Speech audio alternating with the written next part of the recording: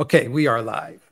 With us today, we have Alexander Mercouris, of course, joining us from London. We have the one and only Brian Berletic from the New Atlas, and we have with us once again the great Patrick Lancaster. How are you, gentlemen, doing? Brian, Patrick, how are you guys doing today? Doing good, well. Good. Happy to be on. Great. Let's yeah, uh, let's get started. As normal. Fantastic, Patrick. Let's get started. We have a lot of news to cover. Uh, Brian, I have all of your information in the description box down below. Patrick, I have all of your information in the description box down below. Please, everybody, follow Brian, follow Patrick. I have their YouTube channels, their Telegram, their Rumble channels. They're they're on all of the the uh, major platforms. And when the live stream ends, I will have all of their information as a pinned comment as well. So please follow Brian and Patrick. Alexander, we have a lot of ground to cover, so the ball is yours. We have a huge amount of ground to cover. So let's first, can I suggest, go to the person who is actually on the ground, who is indeed Patrick. And Patrick, there is an awful lot going on in Donbass, um, in Zaporozhye, in Kherson region, in all of these areas where we still have the offensive, the Ukrainian offensive is still underway. There is, so far as I can see, intense Ukrainian shelling now of Donetsk again. They've been shelling Donetsk again. They've been trying to make more attacks on Crimea. And at the same time, as all of that is happening, we've been having elections in this region. And um, so this strange combination of war and an attempt to achieve a kind of normality, a kind of normal situation happening at the same time. That's not, by the way, unusual in wars, at least from what I've read about wars.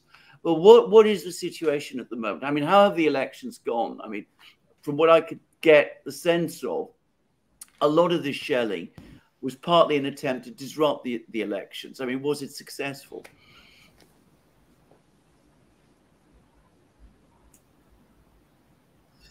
Well, um, there has been quite a bit.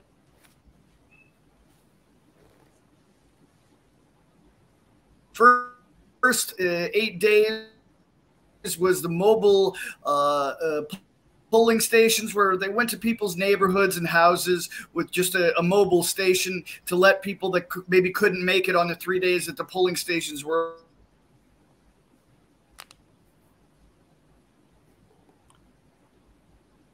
Um, um, um, can I just say, can I just say, Patrick, we we aren't able to hear you, um, which is perhaps unsurprising given that you are in a war zone. Just a suggestion, maybe if you could perhaps think of audio only, if that's the only way that we could get through, because it might make it for a smoother sound. Just just suggesting, because we would very much like to hear your take on what's going on. Can you hear us, Patrick? Can you hear us, Patrick?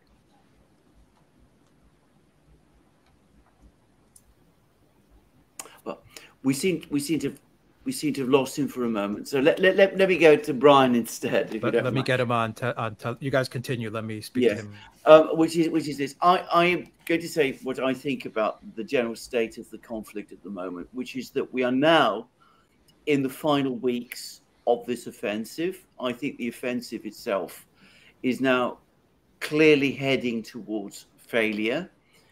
I also think that it has become particularly bloody. I think that this these last few weeks, as we head towards um, the autumn, in terms of the numbers of people who are being killed, maybe the maybe the worst time of all.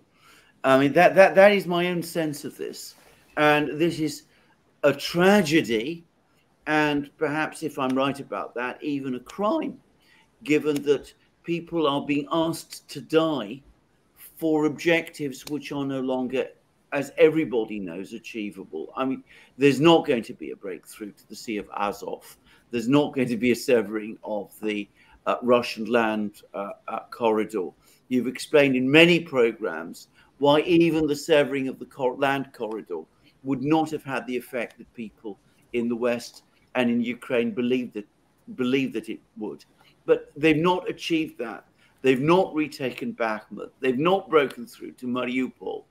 And yet the fighting goes on and people are dying, perhaps in greater numbers now, especially on the Ukrainian side, than has ever been the case up to this point in this war. That's my own sense of the situation. I mean, what, what do you feel, uh, Brian?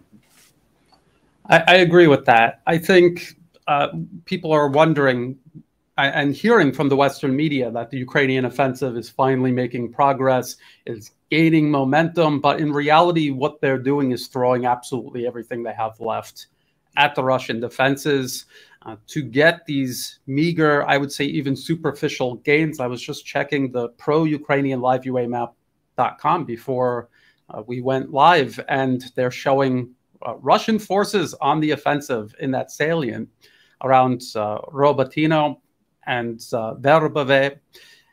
So, so even the pro-Ukrainian sources are admitting that not not only are they failing to make progress, but some of this progress that they did make is being overturned by Russian counteroffensives.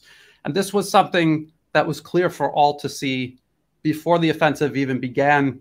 We, we were not citing special sources that we have in the Kremlin. We were reading the Western media. We were going deep in the articles where they buried actual facts.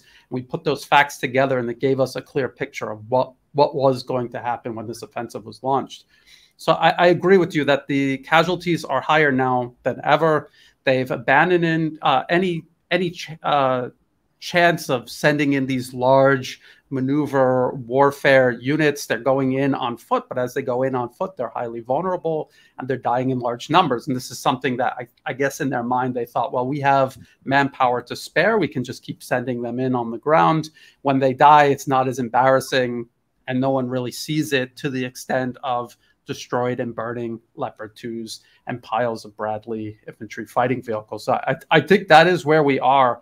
And we're, we're at a point where it had it either has culminated or is about to culminate. We even heard U.S. Uh, General Mark Milley saying maybe around mid to end October, and then that's it. And that's what we all calculated they had artillery uh, artillery ammunition for. And so that's that's where they are, and where what will they do next? I think that that is the big question that we all have to uh, try to ask and answer.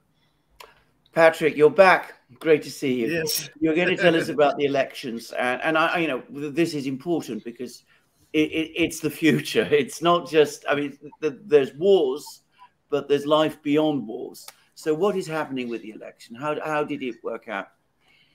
Okay, well, um, the first eight days, as I was saying, was the mobile elections where they went to the different houses and, and neighborhoods of the people that maybe couldn't necessarily make it when the actual polling station opened. And during that time, on the uh, uh, edges of the city and well, many residential uh, parts of the city, not particularly the center, were heavily shelled by Ukrainian forces and literally every single day, uh, civilians uh, were being killed and there were civilian casualties, not only lives, but also homes and apartments. Um, and there was even a uh, uh, an election worker that was injured by shelling. Um, and then from the 8th until the 10th is when the actual um, election polling station op- uh, opened at the schools where people could go from their homes, go to the polling station, and cast uh, their vote. Now, the uh, the viewers need to keep in mind these elections are the first time the people of uh, Donbass. Um, are able to actually take part in the Russian government and Russian real Russian elections because uh, people need to understand that in 2014, these people voted to break away from Ukraine, and that's what, uh, and then was followed by this nine-year war. And then, of course, as we know, last September when the people here voted to um, join Russia. Now, this is the first time uh, that the people are uh, were able to really take part in what they consider their their country's uh, elections, and. Um, again, every day there was uh, shelling attacks on civilian areas and people dying, and that includes the three days of the polling stations. On the first uh, day, I went to uh, the polling station and interviewed uh, many um, um, voters. I uh, talked to work polling uh, station workers and even candidates. And as I spoke to the voters, I kind of played uh, devil's advocate a bit and said, okay, you're voting in a Russian election, but uh, the West, the United States, Europe, and of course, uh, Ukraine says Donetsk is part of Ukraine. And they literally laughed at me, saying, no, this is not part of Ukraine. This is part of Russia because that, that's what we voted for. And that's what we wanted with our self determination. Mm-hmm. And uh, Ukraine didn't want them uh, to do that, but they did it anyway. And the people that I interviewed looked at this day as uh, the eighth, uh, the first day of the elections, as a holiday, even though it was actually already a holiday. It was the anniversary of the uh, final defeats and removal of Nazis uh, in World War II from Donbass. But it, it, they look at it as a double holiday. The first day there, the, the, when Nazis were kicked out of Donbass, and the first day they were able to take part in their country's uh, elections.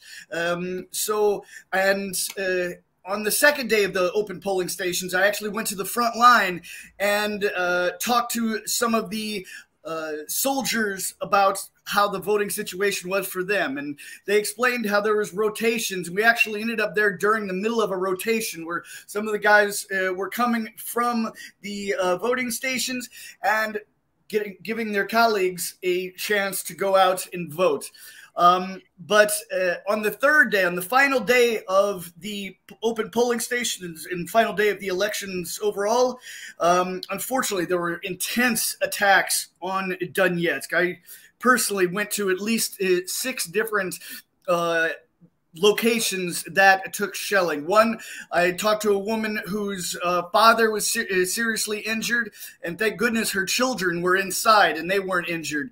Um, but asked them, her, you know, who's firing on your home? And she said, Ukraine. I said, why? Maybe there's a military target near here. She said, there's no military. It's only civilian areas. And this is the, uh, the, the, the theme that I get over and over from these victims.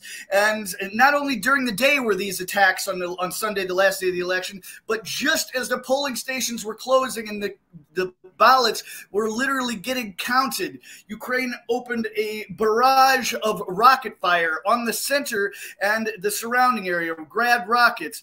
Um, there's uh, reported somewhere between four and seven rockets that came down just on civilian areas. I went, all this, everything I'm saying is documented in, in my uh, channel. I went to these locations, saw young women with blood coming down their face because the glass from the explosion hit their face. Um, oh, and again, says Ukraine firing on civilian areas, and she says there's no uh, military targets uh, near her, uh, just families. Um, and then on Monday, uh, sorry to be a little uh, you know a little long here but on monday i uh, joined the russian forces uh, the Pyatnashka battalion as they um, reported that their reconnaissance had located some of the artillery batteries the ukrainian artillery batteries that had been launching on uh, the uh, city of donetsk during the election. And i was with them documenting as uh, in, in their words as they eliminated some of these artillery batteries with the russian artillery um, so I did my best to kind of document as much as the election from civilians all the way, you know, to candidates to the military. And that's kind of my rundown of the elections. What what was your sense of the mood? I mean, were people, in spite of all of this shelling, did they did were they feeling defiant? Were they happy to be involved in an election? Was there a sense of determination? Did you see? Because I, I, have to ask this question because, of course, the media here in the West says that these are sham elections. Did you see any sign of coercion or anything of that kind? Uh, what was your sense of the participation? I mean, you know, were large numbers of people participating, or was it just small numbers of people? Yeah, this is what the the West is a recurring theme. Mm. Every time there's an election or mm. referendum mm. here in this area, they say, "Oh, sham election for you know soldiers are making people vote." What they don't understand, these people consider themselves Russian. They don't want to have anything to do with Ukraine. They look at the soldiers that are here as heroes. And this is not only now that Russian forces are uh, uh, fully here, but before.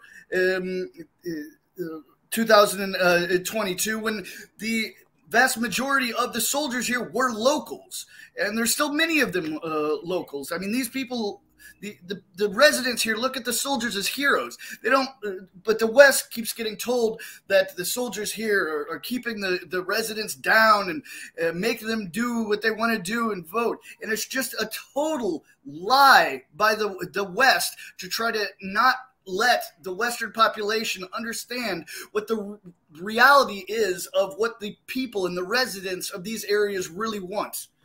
Mm.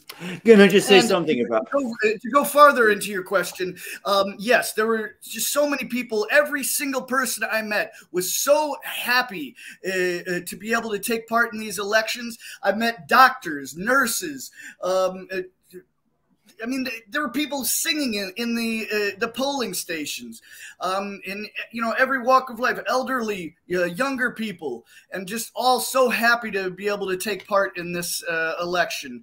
And there was such um, large amounts of uh, days with the week or just over a week of the mobile stations and with the three uh, opening days. So there was a huge turnout, I believe. Um, and, you know, it was it was very interesting to see because I've I've documented you know everything from the Crimea referendum to the referendums across these four uh, areas, uh, both in 2014 in Donetsk and across the four areas last year. So uh, it's very interesting and uh, see a piece of history, you could say. Absolutely. Can I just say there was one point I wanted to make, which is that of course in 2014, when there was the independence referendum in Donbass, the original referendum, which was organized locally. Western journalists were there, and this is before you know the narrative in the West had fully solidified. And I can remember the journalists then, some of them, admitting that this was that there was a huge upswing of support at the time, and that this was a genuine expression of feeling in Donbass some of the those same journalists who are saying that then in 2014, I read them today, and of course they're saying something completely different now. But that's what they said in 2014. I have a good memory for this sort of thing. Can I just ask? Elections, we tend to think of as contested things. I mean, there's different parties, people voting for different political leaders. Did you get any uh, any sense of that that there's politics uh, behind it, or was it just the the the act of participating in an election at all, of putting down a vote, voting perhaps, well, for the government party, I suppose, but for that was more important to people than the local politics than you know voting for for you know Mr. X instead of Mr. Y. I mean, was there any element, if you like, of politics in the election, as apart apart from you know this affirmation that we're now Russian and we're now part of Russia? You know, yeah. I mean, of course, there's a little politics, but as you said, the overwhelming just feeling of happiness didn't really come from, oh, will my guy win or will that one win? Mm-hmm. It's just taking part. And, you know, and I, I talked to a couple candidates as for the people to be able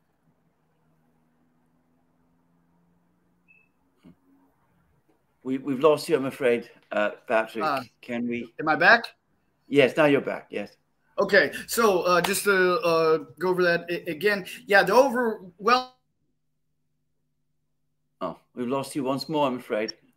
It's a spotty internet, clearly. Unsurprising.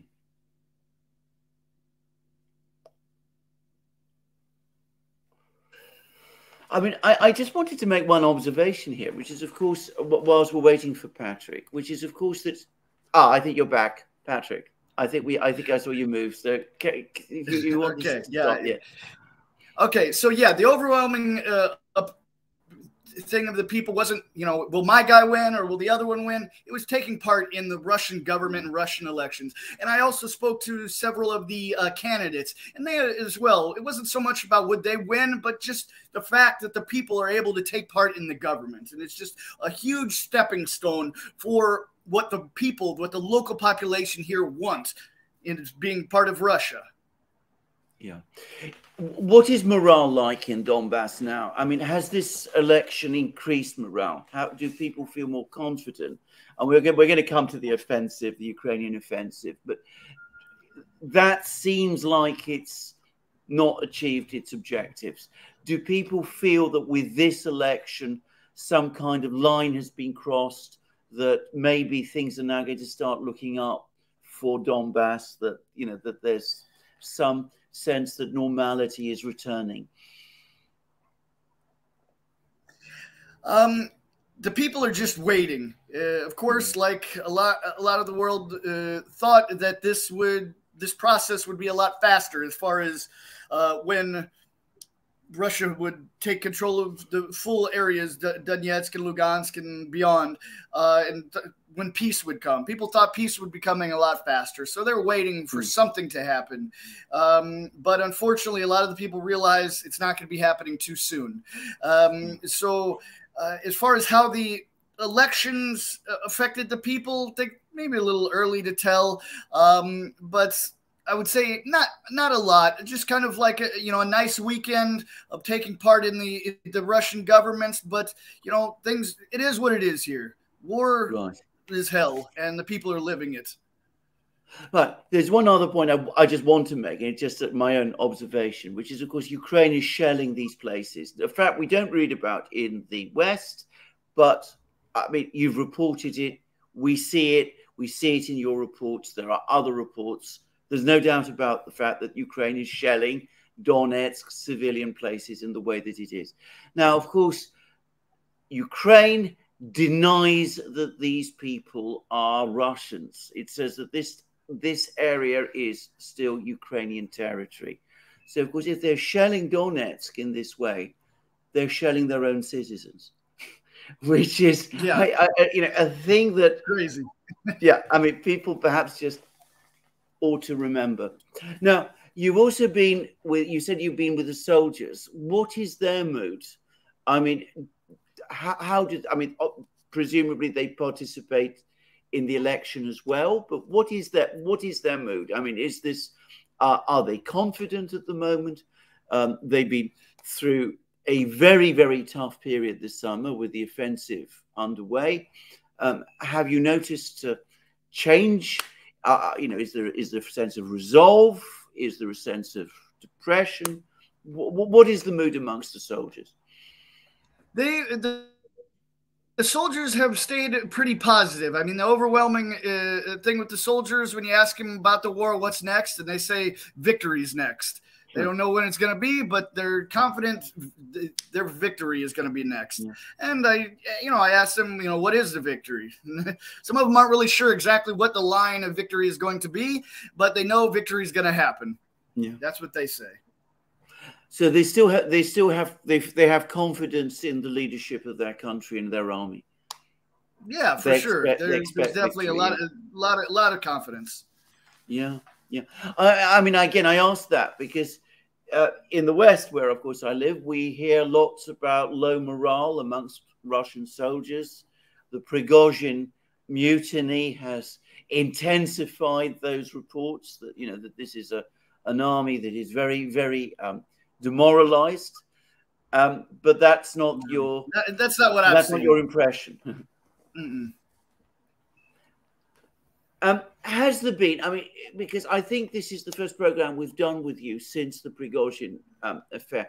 Did it have any effect at all on uh, Russian soldiers? I mean, did did did they? Because I have to say, looking at this, to me from a distance, it didn't seem as if it made any difference. I mean, I didn't see any sign anywhere of any weakening of the lines or of the fighting on the part of the Russians. But did did did people talk about it? Were they even interested in what happened, or did they there not were, want to discuss it at all? There was a lot of confusion about it. I mean, that was yeah. as well. No, it was a very kind of strange situation when that happened. Uh, so, I mean, you know, from the inside out, it was also very strange. A lot of the soldiers didn't quite understand uh, why or how or what exactly was the uh, motive. Uh, but um, as far as weakening the line, I think no effect. No effect no, at all. That, that was. Yeah. Um, and just to ask, I mean, Wagner and its people, I mean, are there any of them? I, I mean, do you see any of them now on the front lines anymore, or has it just completely disappeared from the scene? Well, I know um, I've seen some that have been transferred from Wagner to other uh, departments and battalions. So I, yeah, I've, I've have as soon as yesterday, I, I, saw some here near Donetsk as well. I mean, they're no longer part of Wagner; they're part of other um, uh, platoons. But uh, yeah, they they have. I don't know exactly how many are still up north altogether, but there are some that's gone to other places. Mm. What is your sense about what is your sense about the state of the fighting overall? I mean, this is, I mean, Brian and I were just having a discussion whilst we were having problem. Well, we, we were, you know, waiting for you, which is that I said that my impression was that the offensive is probably in its last weeks now, but the Ukrainian attacks have never been more intense in some ways than they've been up to now, and the result is very heavy casualties on the part of Ukraine. But I mean, obviously, it's difficult to get an overview over a one 800 kilometer front line. But what is your sense? I mean, is this? I mean, would you would you agree with that? Would you disagree with that? Would you say that we're in a quiet period or an active period? What, what, what is your feeling about the state of the battle? Um, I can tell you what I see with my own eyes here in Donetsk. And in Donetsk, it, it is not as intense as, as, as, it has been in the past. Um, yeah, there's attacks every day in several areas, but for example, on the center of the city, it's actually fairly quiet uh, compared to how it has been. Specifically, I mean, one of the high points was December of last year, which every day just in the center was just being hammered and hammered and hammered.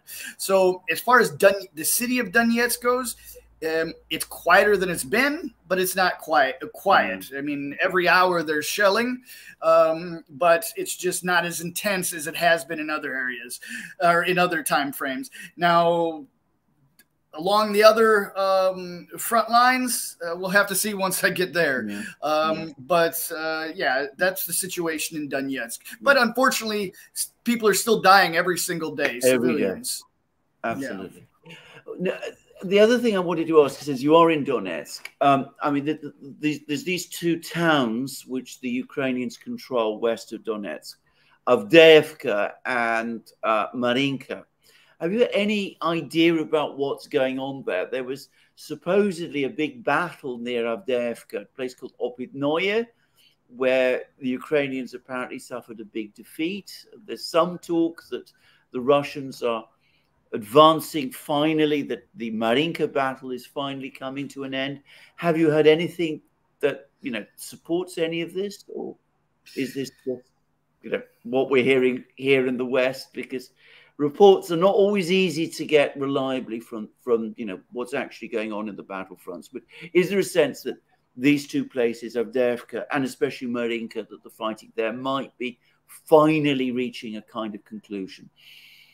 Well, uh, as far as Avdiivka goes, and Mariinka for that matter, but uh, I'm, I'm, just this week I was been on the fronts in uh, Divka, and the problem there is the the there's the front is just so dug in there. I mean, of course, on many of the fronts, it's been uh, almost nine years now to dig in, but it's just really heavy fronts on both sides. So it's difficult to make their way through these fronts and get into the city of Avdiivka itself. Now, as far as Opatnik uh, goes, uh, wasn't there, just heard things uh, secondhand, but and my impression is um, uh, Ukrainian forces made their way a bit inside uh, the city and uh, made a big statement about how they uh, control it, just like we've seen up uh, when I was in Belgorod uh, when they came across the border. They just come to the first little road, take a couple pictures, maybe some video, and say, "Oh, we control the whole town," and then they get yeah. out of there fast.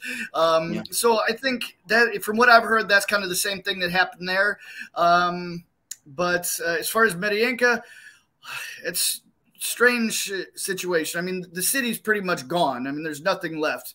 Um, but somehow the the Ukrainians still stay there and trying to hold out for some reason. But uh, I mean, we'll have to see. How, I personally think Mariinka is going to come under Russian control a lot sooner than Avdiivka uh, right. is. Uh, but uh, you know that's just my speculation. Like i said i try to you know say what i see with my eyes but my that's my thought. Mm. um, well those are those are my specific questions. I mean it may be that brian and alex have some more but do you want to make any general comment that you want to uh, uh, make at this point um, um, patrick? Is there, is there any general thing that you wanted to say to me specifically. Well, uh, I, I, think uh, you know. I think I kind of at the beginning kind of uh, laid out the how things have been going here. I mean, soon I'm going to be uh, going up north to the Lugansk and Kharkov direction, uh, and we're going to be able to see a lot more information. Um, but you know, I'm definitely big thanks for you guys for helping me show yeah. what's happening here, and I'm glad we can you know work together on these uh, shows, and I think we'll have many in the future. Well, Parry, can we say? Can I say? I mean, I, am sure I speak for the others too. That I mean, we are in awe of the work you do, and it is invaluable because who else do we know who reports like you do? I don't know anybody else at all. I mean, you know, I'm. I, I mean, you've mentioned other people, but I, I, mean, you're the person. It just, it just, to. it just happened that I, I'm in this position. To Find out what you know, the real, get the real feeling of what's going on on the battle. Mm-hmm. Yeah. Thank you. Well, if maybe because I, I would like to ask some questions, but I'd also like to thank Patrick for doing the work that he does. I don't think people understand how difficult it is to be out in the field doing this, especially uh, when an armed conflict is taking place. One of the questions I wanted to ask was, do you have time to do research on online to see what other people are saying about what is going on along the line of contact? And how does that compare and contrast to what you actually see with your eyes? So that uh, you know you you report things that i think do reflect uh, uh, very closely to what uh, at least the russian sources say. And as as alexander has pointed out the russian sources can become very critical of how the war is being conducted. And when something bad happens they they do report about it. So what is your experience and what is being reported and what you're actually seeing with your eyes well, I mean, as you say, you know, the Russian uh, media says one thing and the West says another, and the the West really has no idea what's happening uh, on this this side because they don't do any reporting here and they just try to hide what's happening. Um, so yeah, I mean, I've got several. Uh, colleagues and people I know across the lines that I talk to. Um, but as far as in uh, contrast to the West, I mean, you know it's just night and day. No but even still i tell people in my reports you know you can't just watch what my uh, reports because i can't show everything that's going on. I don't see everything. So people just need to educate themselves. Watch as many reports from both sides of the line as they can regardless uh, russian english ukrainian or chinese. Um, um being a little facetious, but uh, you know, they just people need to educate themselves, not just watch one source, uh, because no one source can tell you everything that's happening, and uh, maybe because they just don't know, or the, because they don't want to. Um, so that's why people just need to act on their own to, you know, educate themselves before they make an opinion and think something's fact when maybe it's not.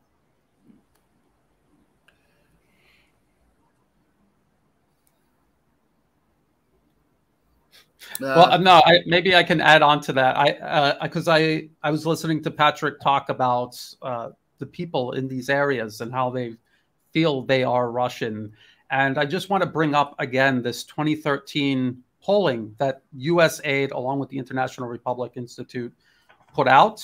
They did one for Crimea specifically, and then they did another one across the rest of Ukraine. And when you look at the, the, the way they break down demographics, it was basically split between Russian and Ukrainian speakers. I think it's 40% Ukrainian, 40% Russian.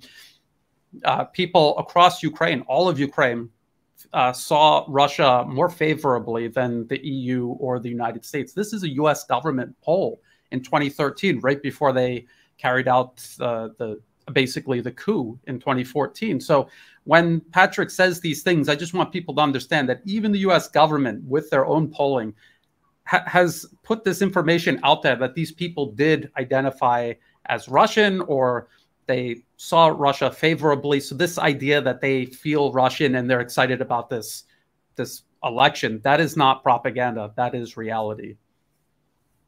Mm-hmm, for sure.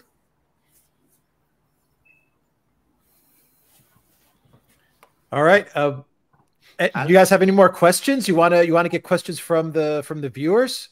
You guys want to talk about Crimea maybe a little bit? What's going on there?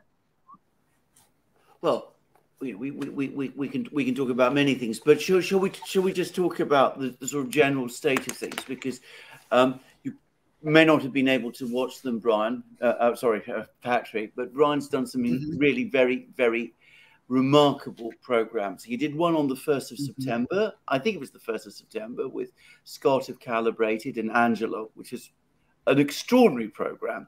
And then you've done further ones since then. You've taken us through a long piece on the war of the, war on the rocks. Michael Kofman and was it Robert Lee? And Rob Lee, yes. Rob Lee, yeah. And um, looking at the strategies and the tactics. And now we've had a further article in the New York Times, which is all about industrial production things. Um, all topics that we've discussed many times in many programs, but it's all coming together now in ways that I think we spoke we've spoken about before. So if we go back to those two programs that you recently did, uh, Brian, about the offensive, I go back. I remember so many of the things that you were saying before about you can't train people in the use of combined arms, Western type combined arms tactics. You can't train them in a few weeks or a few months. It isn't going to work. You can't take entirely new pieces of sophisticated equipment, tanks, aircraft, missiles, put them into a military system that isn't adapted to using these things and expect them to know how to operate these things and use them effectively within a, a few weeks. You did another program in which I remember you went through the way in which fortifications worked. It was most interesting program. Uh, explained this is some months ago the challenges of dealing with all of these fortifications. And you also have many times spoken, all the way going back to the summer of last year, about the issue of attrition. And now we read article after article, including in the Ukrainian media, by the way, about the inadequacies of training. We're starting to see articles skeptical about some of the weapon systems that have been delivered to Ukraine. We see complaints about fortifications, and we see also this, I think, deeply troubling and indeed I find it upsetting talk about another mobilization in Ukraine, which is the product of attrition. I mean, it, it, seems to me that everything is coming together, and it's not been difficult to see. You foresaw it to some extent. We on the Duran, we spoke about it too. We were talking about it long ago, but is that where we are? That you know that all of these pieces are now falling together into place. Yeah, yes. And the West has to come to grips with this reality because there is no more kicking the can down the road. There's no more covering this up. They launched this massive offensive, has raged on. It's in its four month, uh, fourth month right now. And they have to explain to people why they've made no progress. They've taken a, a handful of villages. They have not even breached the first main defensive line. They're playing semantics about what is the first defensive line. You don't do that if you're having actual success. You don't need to play games with semantics. But that is that is where they're at in this New York Times article, and people can uh, look it up. It's titled "Russia Overcomes Sanctions to Expand Missile Production." Officials say this is September 13th, 2023. We were all talking about this for months. We were talking about this last year, as a matter of fact, mm-hmm. uh, about how Russian military industrial production was greater than the West, and that you cannot compare countries by just looking at military budgets or GDP. You actually have to look at the industry itself. What are its components? How how how is it made up? And if you did that, you would have seen how lopsided things were in favor of Russia. Russia was getting ready for this conflict in, in one way or another, whether they knew it was going to specifically be in Ukraine or elsewhere, since probably 2008, the, the attack on Russian forces by Georgia in 2008. They saw the inadequacies of their military and they began a massive force wide re reformation of their military, their military industrial output. So from 2008 till today, we still see that pro- that process ongoing. There are things that they began doing that weren't even finished by the time the special military operation began. Uh, say the Lancet drones, that was something that came online in the middle of the special military operation. And uh, going back to what you were saying, Alexander, about uh, being able to train a brigade, a, a unit that is about 4,000 men strong, being able to train an entire brigade from scratch in three to six months is impossible. Uh, a whole brigade is not just 4,000 men on the field with guns running across the battlefield fighting.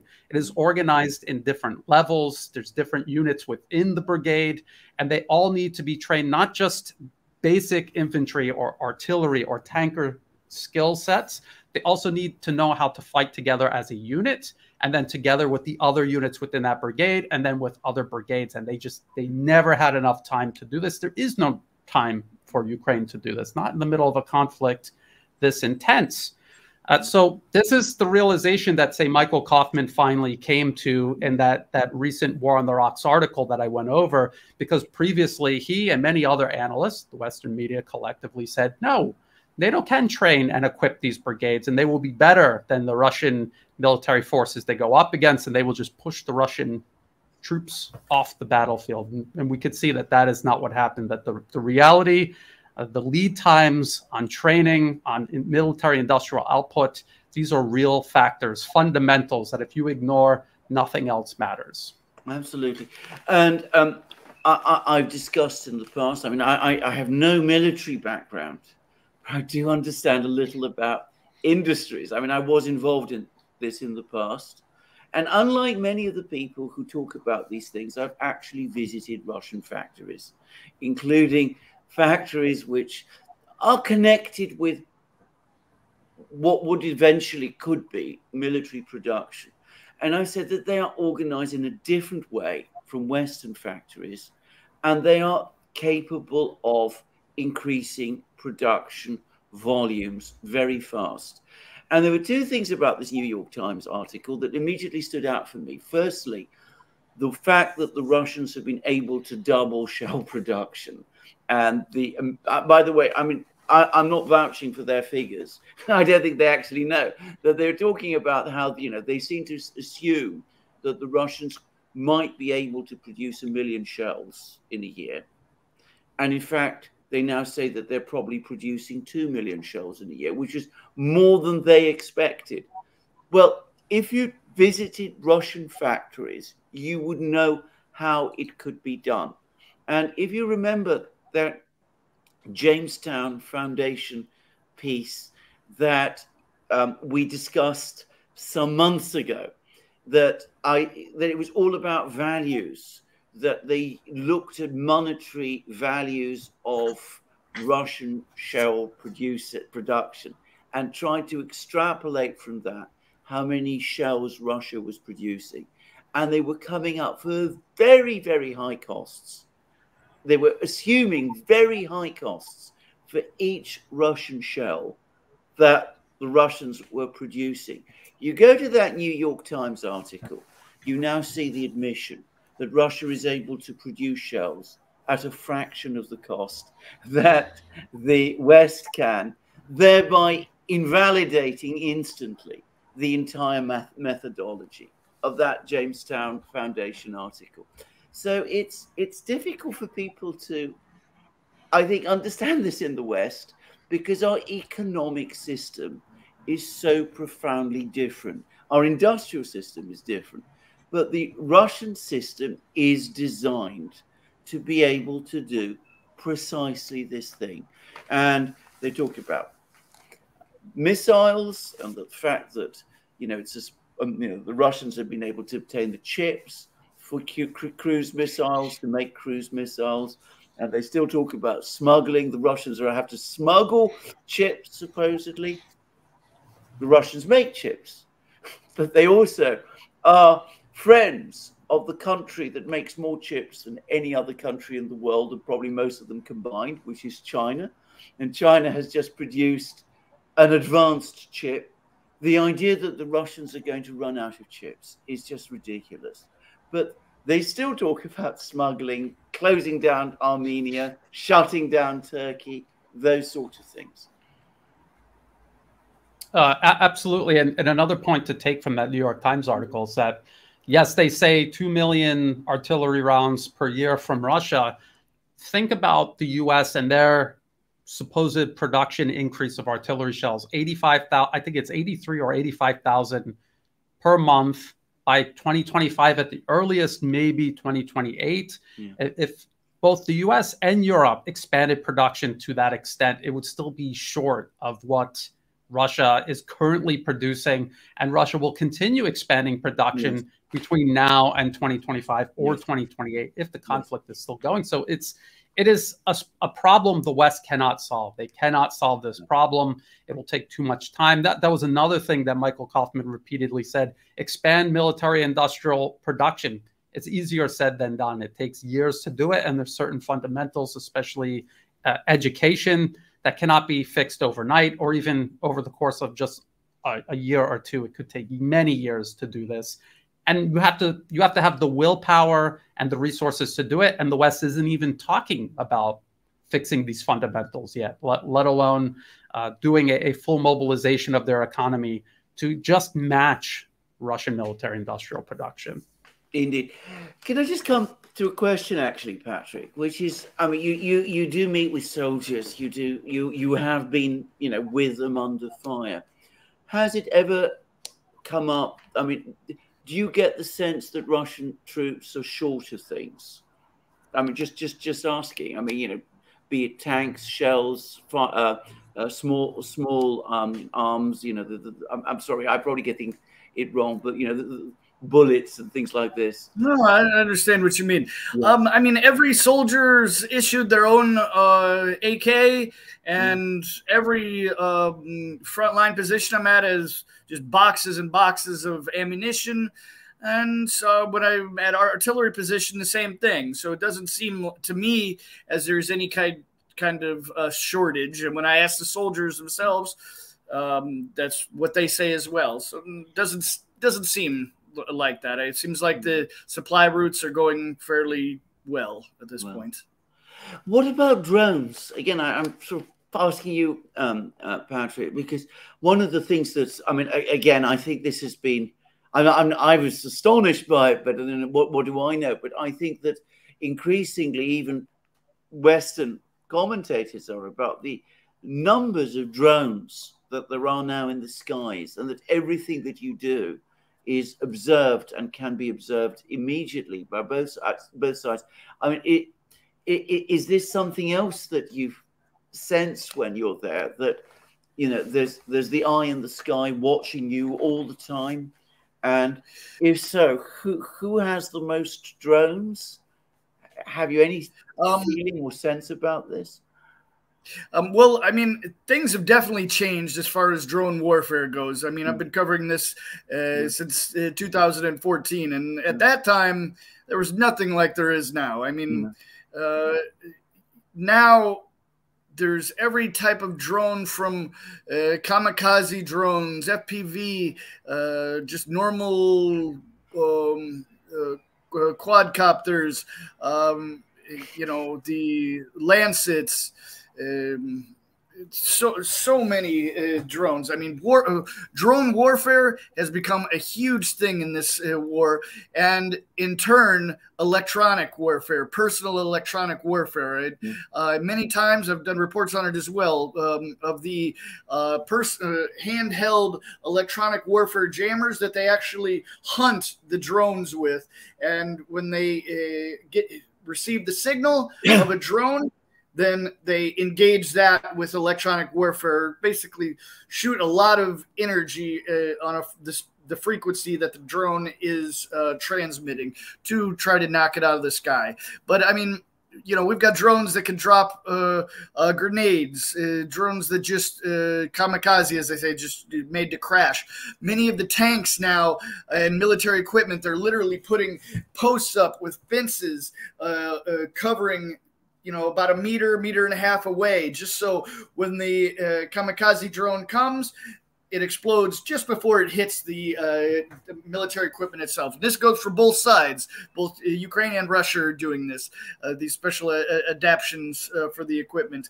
Um, as far as reconnaissance, uh, you know, there is, I don't know about any given time uh, being seen, but it's, you know, huge increase. Um, so just a huge amount of different levels and different types of uh, drone warfare. So it's a very new thing to modern warfare, I'd say. You know what I also think about this is that in the West we've probably invested. This is my just in my comment now in the wrong drones. In that we've been investing in big, complex, sophisticated drones and from what I can see, in an actual war like this, it's the small ones, the the, the Lancet, yeah. the, those those are the ones that are really making the difference. Am I right? Or even smaller than the the Lancet. I mean, we've got the the little hobby FPV drones that they have. The different uh, battalions have their own little um, mm. you know workshops where they put together these uh, FPV mm. drones, and it overall costs each drone costs what six seven hundred dollars, and then a, little, a lot of times they go up and they knock knock out a million dollar piece of equipment uh, with this uh, six hundred dollar drone. I mean, this is a yeah. fact. This happens. I've documented it. Yeah. Now, there's been a lot of reports from the Royal United Services Institute. Enormously interesting, actually, if you uh, and some rather clever people writing there. But um, they've also been talking about um, a, a, radical improvement in, in command and control that the Russians have been much more successful now. They're much more successful now in integrating information from the battlefield with their artillery and carrying out counter battery work, for example, than they did at the start of the war. And I noticed that, that Shoigu, the defense minister, um, he recently had meetings with people and he said that the most important priority for the artillery at the moment is counter battery work. And you were talking earlier about how you actually went and saw some of the guns that were striking at Donetsk being attacked in counter battery work. I mean, is it you also? I mean, how do you think about this? I mean, do you also think that this has improved? Well, I mean, again, back to back to the uh, the uh, drone warfare. This is, you know, nine years ago, 2014, they literally had to uh, have um, sabotage groups and reconnaissance group go in to put their eyes on targets so they know how what's being targeted and how, and how. But now the general practice for artillery is to have a drone to uh, locate a, a target, whether it's through on the ground or through drone or through satellite, locate a target, and then put a drone in the sky over it uh, that is targeting in relaying real time information to the artillery operators um, and saying, okay, in this direction, fire this. And then they fire one shot. And the drone operator sees, okay, that shot was a little bit to the left or right. And they tell them how many degrees to go over. Mm. And uh, just real time modern warfare uh, can, dro- uh, target to drone, drone, drone operator. Operator calls the artillery man, all in real time. Is so it's definitely increased the effectiveness of artillery um, since I started this for sure. Right. Now, the other thing, which actually, I, Brian, I, I, saw a program which he touched on it. There was an utterly harrowing article about more than one article about the medical evacuation and medical treatment of Ukrainian troops received. That they that they're not very well organized in evacuating their wounded, and that they don't treat the, the wound that their wounded don't get the kind of treatment that they need, and as a result, that enormously increases their losses, and of course, must affect their morale. What what was your has have you had it developed any sense about what goes on on the Russian side? Because we don't hear anything about medical evacuation and treatment and you know hospitals in the rear on the Russian side. I mean, how does that work? Or it, does it work? I mean, is it is it successful, or have you any feelings or thoughts about it, or impressions about it? Uh, Patrick. Patrick. Oh, I, I, thought that was the. Uh, uh, no, no, that was to you, Patrick. Because as I said, I mean, we read about this with the Ukrainians. I mean, do the do do the Russians feel that their own medical teams, their evacuation, their treatment is that working well for them or not? I mean, what is what is the sort of general sense about this in amongst the Russians, the Russian side? Well, um, I mean, if you listen to the Ukrainians, you, they say that all the hospitals are overloaded with uh, uh, Russian soldiers, and that's just not the case. I mean, mm-hmm. I go to some of the hospitals here in the Donetsk, and uh, you know, I talk to the doctors about what the situation is, and they say how there, you know, dozens of civilians there that uh, are. Um, uh, you know, injured by uh, shelling or mines or uh, whatever the case may be, including children. Um, but it doesn't seem like the uh, civilian hospitals are overloaded by soldiers at all. Uh, of course, the soldiers have their own uh, hospitals and even field hospitals. Um, so it doesn't seem like you know there's this huge over you know overwhelming uh, effect of uh, injured soldiers affecting the uh, medical uh, uh situation as far as treating them. Um, so I don't think it's really an issue, if uh, if I'm understanding the question correctly. If a Russian soldier gets wounded on the battlefield, I mean, how quickly is he evacuated? And I mean, obviously, you can't get you can't give a single number, but are they evacuated fast, or is it chaotic and confusing? Uh, and do the Russians make a serious effort to evacuate their wounded? Um, well, I can tell you about an instance uh, yesterday. I was at a, a Russian training ground uh, near uh, Donetsk, and uh, there was actually a little bit of a um, uh, an accident, you could say, where some when a grenade went off, some it wasn't really clear if it was shrapnel or stones that came up and went into his soldier's eyes. And within, I'd say, 15 seconds, he was already in a vehicle on the way to the uh, field hospital. I mean, it was just as soon as the soldiers uh, realized there was a problem, they screamed medic, and he just immediately got taken out. Um, so they're, you know, the seems pretty on top of the, uh, the game uh, when, uh, as far as that goes. And another example, um, about a month ago when I was on the Avdiivka front. Um, we came under shelling when there was a uh, Ukrainian drone overhead, and quite a bit of shelling and gunfire. And when we made it back to safety, my uh, my cameraman was a little bit uh, injured. It wasn't really clear why because so much adrenaline. He just had blood on his hands. And as soon as the soldiers saw that, saw the blood, uh, they just you know overwhelmed him, uh, stripped off uh, his, his, shirt, and and located. Happened to be just a you know a small cut, but just you know almost like muscle memory. As soon as they see a problem, they react in the best way possible. I would say. Can I just ask? This is a question directed to both of you, to both Brian and Patrick.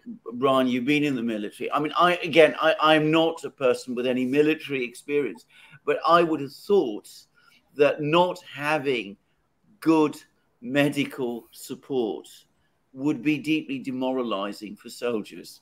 Whereas, by contrast, having you know the knowledge that if something does happen to you, there will be people there to help you is going to help you is going to sustain you in in battle is i mean is am i right in thinking this uh, well, I mean, it, it is. And I think that's why the Western media focuses on this so much. They try to mm-hmm. portray Ukraine as having such a well oiled uh, medical process. And they try to depict Russia as having no medical process at all. Mm. And we remember stories about uh, Afghanistan or Iraq and that, that 30 minutes that every soldier has that, that I think is the golden 30 minutes or hours, something like that, mm. where they have to get them to intensive care that quickly or or they have no chance and and if you get them there they have a much better chance mm. and so that was something that the US was working on and that that does improve morale for for soldiers whether it's training or or in combat so i, I think it is a, a very crucial point uh, mm. that has to be addressed for every military mm. um, I mean, Patrick, again, I mean, you were there on a training ground. You saw the soldiers being trained. I mean, again, we've been hearing so much about the training of Ukrainian soldiers. What about the training of Russian ones? I mean, do they get thorough and good training? I mean, you've seen many soldiers in many wars. Do they come across as competent? Well, I mean, um, yesterday, for example, uh, was on a training ground where some newer uh, soldiers were uh, not totally new, but you know, uh, newer. Were getting some uh, just small arm uh, fire and grenade training, and the instructors were seemed to be very thorough and had many um, trainings themselves in different areas. So I mean, yeah, the trainings uh, uh, goes good for the from what I've seen with my eyes.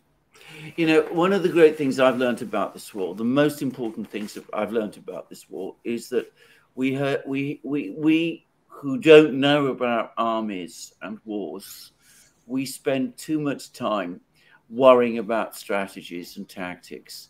The way wars are won are through training, through equipment, through good organization, through organization of military supplies, through support for the soldiers on the front line, and obviously through realism about how um, you know what what soldiers can be expected to achieve. Um, I mean, I know Napoleonic figures perhaps do exist from time to time, but this isn't how this war is being fought or, or, or is going to be decided, or so it seems to me. Um, I, I, I, yeah. Well, I, I was just going. I was just going to say that uh, that that's that we can see that that is that mm. is the determining factor. These fundamentals. Mm. Uh, I, I, just wanted to go back to uh, when yeah. we were talking about drones and and mention yeah. that when you read the Western media, they act as if only Ukraine has these drones. Only Ukraine is doing counter battery uh, missions. Mm. When in reality, so so is Russia. And then for people to objectively look at this, ask yourself which side can afford to lose an artillery piece and which side cannot. Mm-hmm. So if everything else is equal, both sides are conducting these type of missions, they're both having a certain degree of success. Who can afford to take these losses? Who cannot? And then who has more material and means to conduct these type of counter battery missions on a more intense level? And the answer is obviously Russia. Yeah. Let's just move forward. And and we are now probably heading towards the moment when the offensive starts to run its course. I mean, you know, Milley said 30 to 45 days until mid to late October. Um, do you think they're going to try and renew it afterwards? Because I can't see how. I mean, with what? But I mean, what do you think, Brian? No, they they don't have the ability to, and, and, this was something that was pointed out in that very long article. Also, we already watched NATO create this force for this offensive. They created a force before the fall offensive last year, and then what wasn't mentioned, but absolutely did happen, was NATO began training Ukrainian forces all the way back in 2014 And at one point, they began arming them as well, uh, very close to the launching of the special military operation. One of the factors that I think ultimately provoked it. Mm. And if you were training a, a, an army for eight years and they were not ready for this, wh- what army that you train in two or three months or even six months, uh, what is that army going to be capable of? So, so they have realized that this is not possible. Even if we did have enough material resources, the manpower is an issue. We cannot train up enough manpower to do this effectively, even if we had enough equipment for them, which we don't. Uh, and that that is that is the fundamental problem. And even Western analysts admit that that army from 2014 to 2022 that is gone. That has been eliminated, more or less. It is gone. So just think about what that what the implications are for any future army they try to cobble together in just a handful of months to to throw at Russian defenses again. Yeah. What about an offensive, a, a, Russian offensive? I mean, Patrick, is anybody talking about this? I mean, because there's lots of speculation about this in the media. Not, not I should say the Western media. The Western media doesn't want to admit the possibility. But you, you, if you go to independent people, you know, uh, the, the various channels that I read, and Scott of Calibrated reads even more. There's lots of talk about this, but is there any talk amongst the soldiers themselves about a Russian offensive of any sort coming?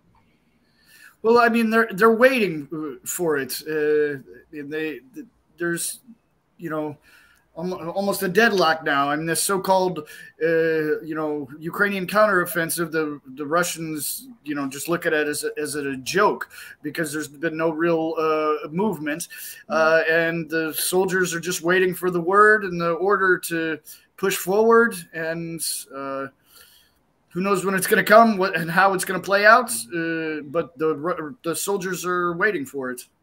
Has the counteroffensive has has the success in defeating the counteroffensive, let's assume it has been defeated, but has it actually increased, raised morale amongst the Russians?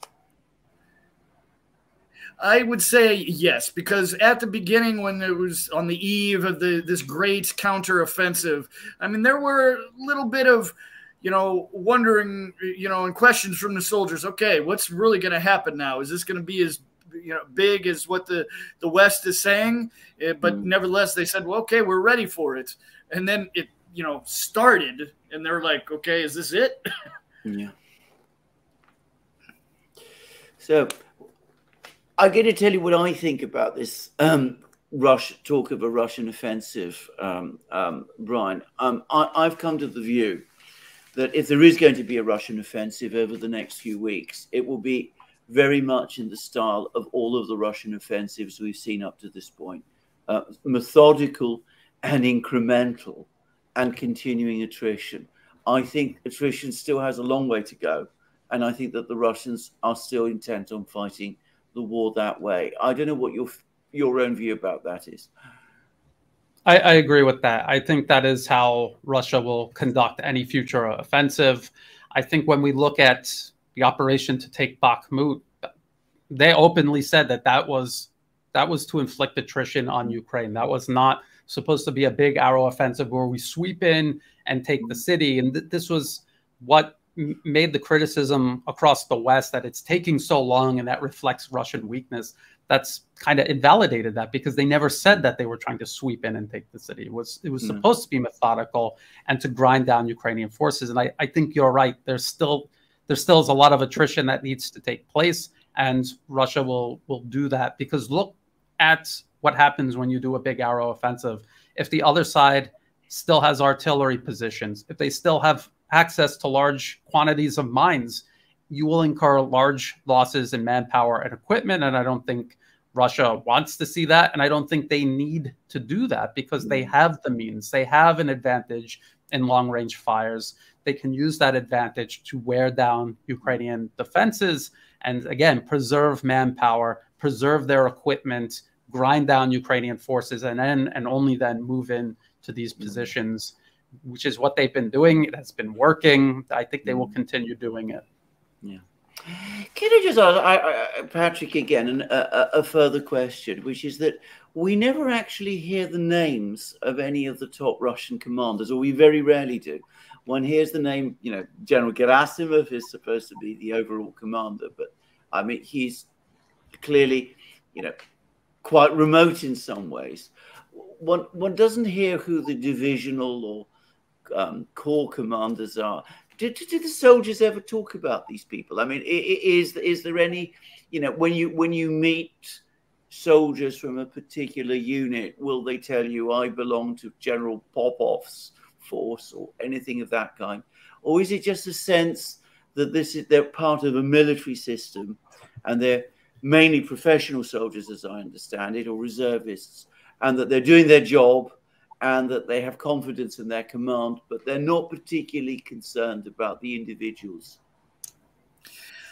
Um, well, I mean, it, there's uh, uh, some of that and, and, and not so much, but I can say about uh, where I've been this week with the um, Pyatnashka Battalion and their um, commander's uh, name Abkhaz, and he's fairly, uh, I, I, would say, very much respected in their battalion. So mm. he's uh, uh, people have a lot of pride, uh, you know, say working for uh, that's the overall thought I get. But you know, back in the day when you had the Motorola and the Givi and all this, um, you know, there's nobody really, you know, that's uh, uh, much of a uh, in the limelights right now. Yeah. Um, but you know, it, it, I I would say the you know the one that sticks out for me is Pyatnashka with uh, the commander Abkhaz, but you know every battalion and division is uh, different. Yeah. Yeah. Interesting. Well, I, I, don't know what what other people have to say. I mean, we're talking about military equipment, and um, I, I, I'm going to say, by the way, I think that we're going to see this gap in equipment levels actually increase. I think the Russians have only got started in terms of military production. I think anybody who is uh, uh, knows the situation will understand a lot better what I'm saying. Because I mean, the other thing to say is, I mean, we've talked about factory space. We've talked about um, in in previous programs factory space, subcomponents, supply chains, um, trained workforces. The other thing you need, of course, and the Russians do have this to an extreme degree, are project managers. Russian is Russia has always been very good in project management. We don't have that to anything like the same extent in the West anymore. So I think that the difference here is going to grow. I think whatever the current levels of production in in Russia are, they're simply going to go on increasing. I mean, there will obviously be a you know finite point beyond which they can't increase anymore, but I don't think we're anywhere close to it. In fact, I think we're going to see another big surge next year. So I think that this is going to increase. The difference is the gap is going to increase. The gap in the professionalism of the two armies is going to increase. What, what are we going to do in the West? What is, I mean, have you any I mean, what do you feel the United States, which is ultimately the United States? I mean, we saw General Milley with his bank of screens. He's clearly the person who's really in charge. What what is he telling the president? What is the president going to do? I mean, they're looking at this situation. They must be seeing a deteriorating situation. Uh, you get the sense that Milley understands it. What is your sense of what they're going to do, uh, Brian? Are they going to double down? Are they going to try and come up with some more wonder weapons? Are they going to provide more um, missiles? I mean, do they have a winning strategy of any kind?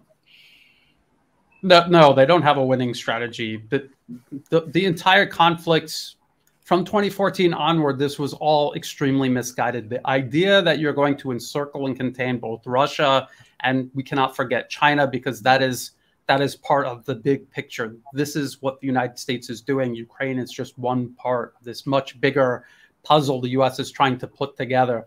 There is no way for them to do it. There was no way for them to do it back in 2014. And as time goes by, you you pointed out this gap that's going to only grow. And if you read that New York Times article, they're basically ag- agreeing with that sentiment. And then if you consider China and its much larger industrial base, it, it, it's obvious that there is no winning strategy. There is no winning strategy for the United States to reassert its hegemony over the globe.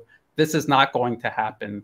Uh, the problem is, and as uh, both yourself and Alex always point out, they do not have a reverse gear. No. They cannot win this economically, militarily, strategically. They also are incapable of accepting psychologically that that they cannot achieve this. Mm. So they're just going to continue pushing forward until one disaster is followed by another, and it continues to compound. I think the the breakthrough in China with this Huawei Mate 60 Pro phone with an, an indigenous microchip inside that should not exist because of the, the US sanctions, this increase in Russian production that the New York Times is saying should not exist, but does because Russians are sneaking across borders with backpacks full of microchips or something like that.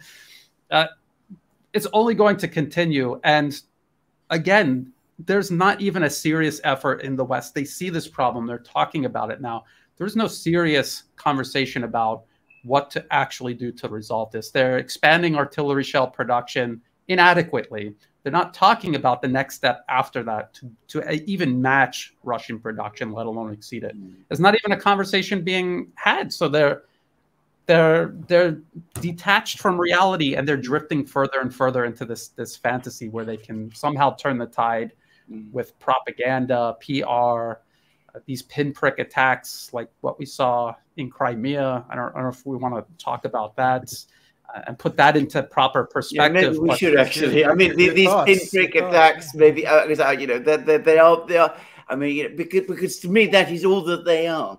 I mean, that that this is mainly theatre now. I mean, I mean, obviously, sometimes embarrassing for the Russians when it happens, but it's not going to change anything in the end you did a very good program on the ATACMS missiles, in which you pointed out, you know, that if missiles like the ATACMS could change the whole battle, the whole course of the war, then it would have already been changed because the Russians have the same types of weapons, only many more of them. Uh, absolutely, and and you pointed out that the ATACMS is different than say the Storm Shadow or the Scalp mm-hmm. because mm-hmm. those are cruise missiles the ATACMS is a ballistic missile launched uh, by uh, a land-based platform, while the other two cruise missiles are air-launched. Uh, Russia has the Iskander, which has both a ballistic missile and also a cruise missile version. So they, they have both versions. Plus, they also have air-launched cruise missiles, plus ship-launched cruise missiles. So they, they have everything that Ukraine is being given, but on a much larger scale. Plus, they have capabilities that Ukraine will never have never not not in the foreseeable future. So it is it is not something that is going to change the tide. It will definitely do damage. These missiles do get through. The attack on on the naval base on the the dry docks did did seem to do damage possibly even destroy two two naval vessels. The attack on the airports when was that? That was two two, two three weeks, weeks ago so so it's not happening nearly often enough for this to mm. actually impact Russian combat power. It would have to happen almost daily as as Russian attacks are carried out. It would have to happen almost daily to begin impacting Russian combat power. And remember again that Russia is doing the same sort of damage daily to Ukraine. Russia has much more to to they could afford to take these losses. Ukraine cannot. Yeah. That's my view. Do you have any, any thoughts to add to that, uh, Patrick, about these attacks on Crimea? I mean, well, I mean, we've, of course, the biggest, uh, you know, saddest attacks is when the civilians are uh, uh, killed, unfortunately, and we see that you know, with the two times Ukraine has attacked the bridge, both times civilians have uh, been killed. And um, I mean, in, in, in, yesterday with the attack, uh, that I believe injured 24 and killed uh, two. Now, not necessarily all uh, civilians. Yes, soldiers die in war. It is what it is.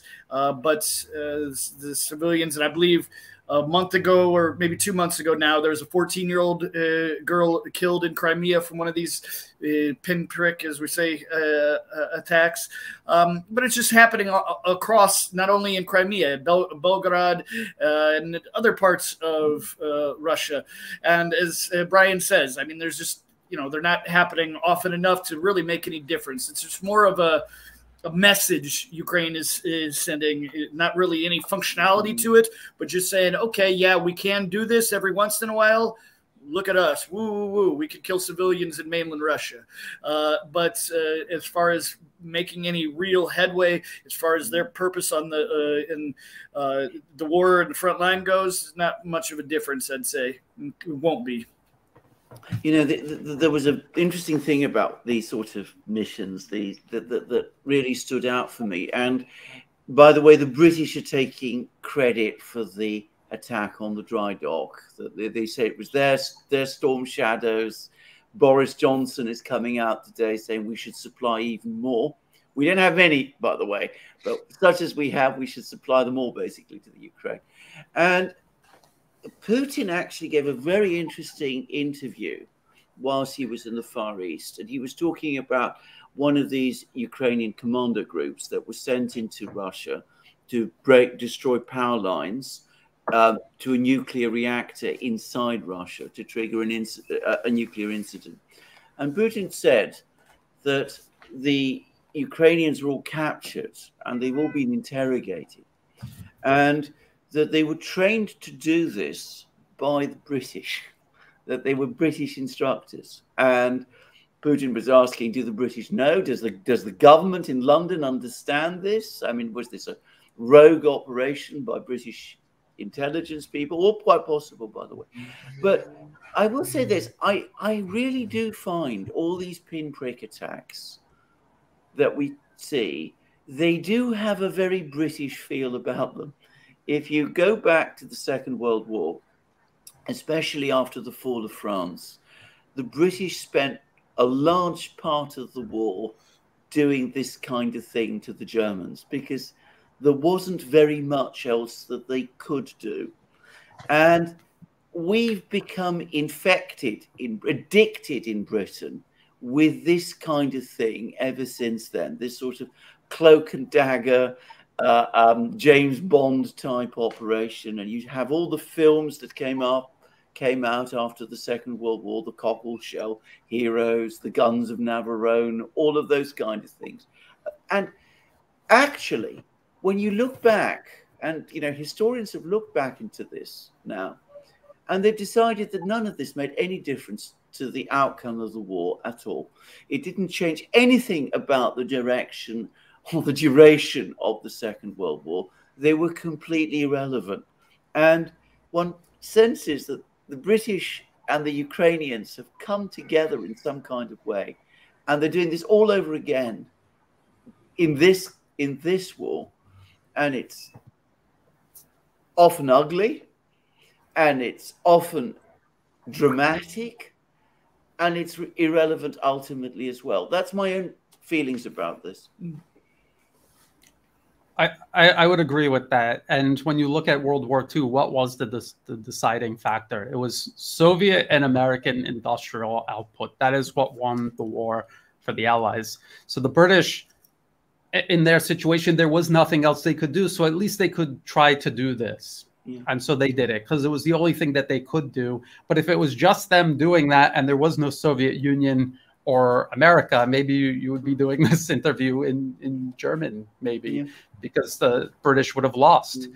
And, and so it is, it's the exact same situation all over again, except it is the collective West. They are resorting to these sort of tactics because they don't have the ability to provide Ukraine with what it actually needs to match or exceed Russian uh, combat power. It's just the reality of it.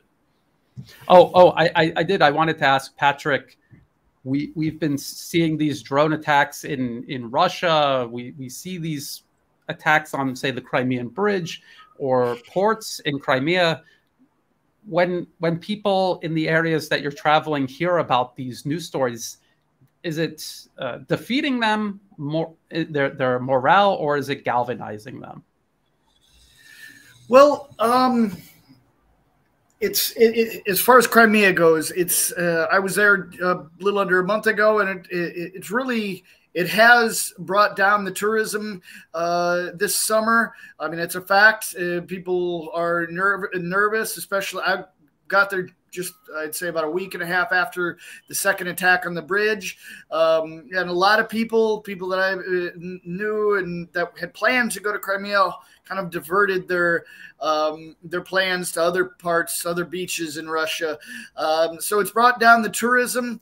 Locals aren't are definitely not happy about it, um, but uh, you know overall it doesn't make a huge difference but of course it does bring down the morale in uh, uh, let's say uh, crimea just because you know they didn't think there was going to be war there you know?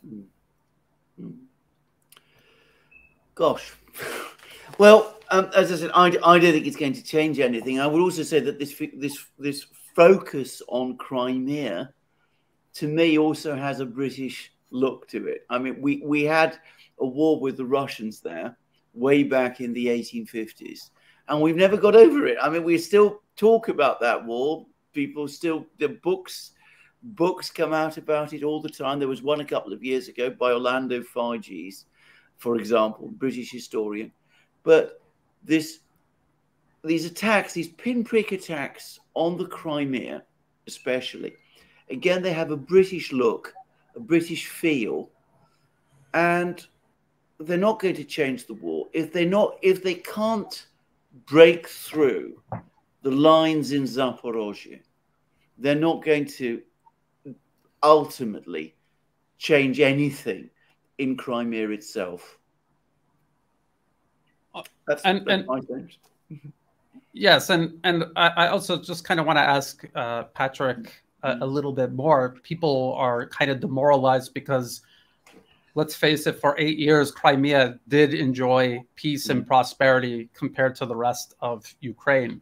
They they dodged a bullet, so to speak, but now we see these attacks, so now it's it's being brought to them, and I think that is one of the objectives of these attacks. Uh, as Alexander says, it's not going to change the outcome of the fighting, but it, it does bring the conflict to Crimea and it, it attempts to undermine the peace and prosperity that, that Crimea had enjoyed. People that are demoralized, are they are they having second thoughts about joining the Russian Federation, or do they just feel that you know this is an unpleasant situation? They're unhappy about it, but uh, they they still realize that if they were part of Ukraine, things probably could have been uh, a lot worse. Uh, um, how do I people mean, feel? that's you know another thing that uh, you know the people in the west i mean it, it's like there's such a separation between donbass uh, and uh, crimea. I mean the the biggest thing about crimea i mean before 1956 uh, crimea was part of russia. So i mean the people of crimea are russian. They're they, you know they've they've wanted to be part of russia they've waited for russia for years and I mean, they're they're Russia now, so there's you know there's no second thoughts about becoming part of Russia because their heritage is uh, Russia for the most part. Um, so I mean, uh, you know, there's no you know. Uh, you know, no hindsights of uh, thinking, "Oh, maybe we shouldn't have done." No, they're even though war is slowly inching its way, you know, they're still strong in their beliefs of they are Russia and they're gonna be Russia. Yes.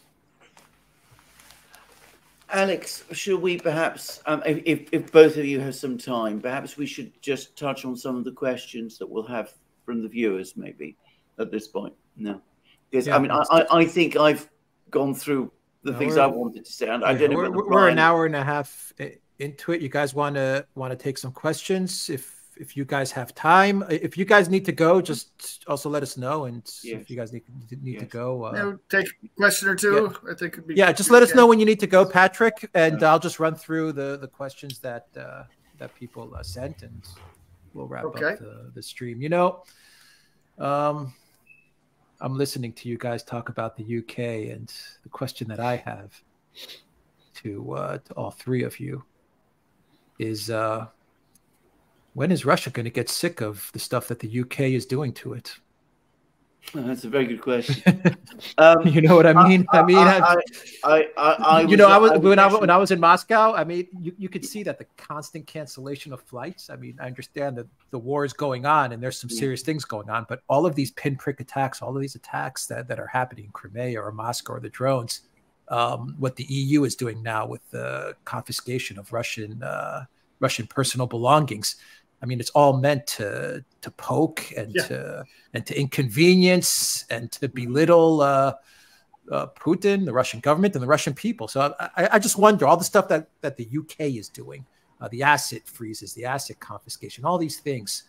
Um, I just wonder how long the Putin government can can put up with it.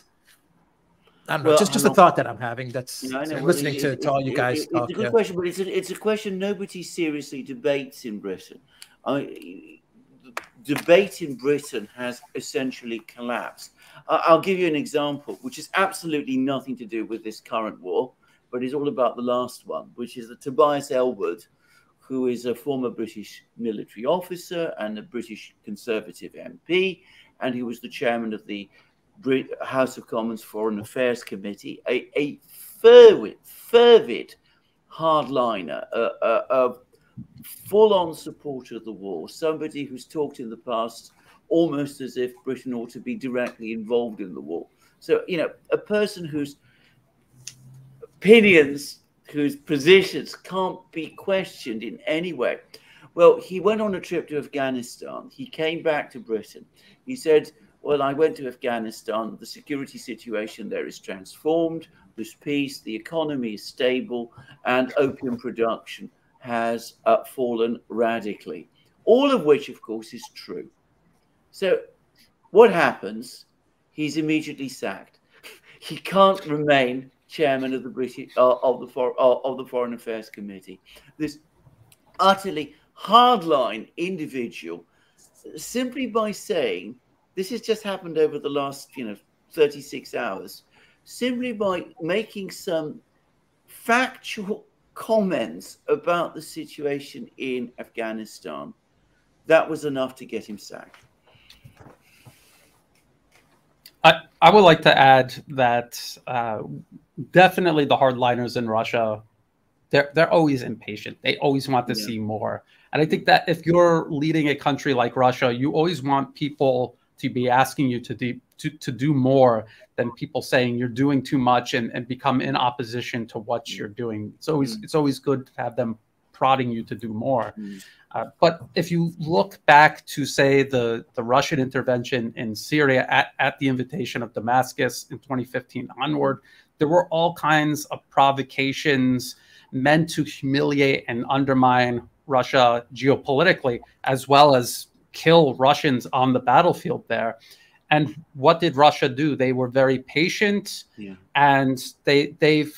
It seemed as if in their mind, revenge is simply winning the conflict, and that, mm. that is what they did. And they have seriously complicated not just America's position in eastern mm. Syria, but their entire position in the Middle East is is uh, in danger now because Russia refused to be provoked. And I think they're going to do the same thing. And I, I was listening to a, a Chinese commentator, Victor Gao. He was on British media and they were saying, you know, does China see Britain as a competitor or an adversary or an enemy? And he said, no, we, we just want to be live in peace with the UK. Mm-hmm. How can the UK be a, a competitor with us? We're, China's going to be the largest exporter of, of automobiles, including EVs can the can the UK compete with us?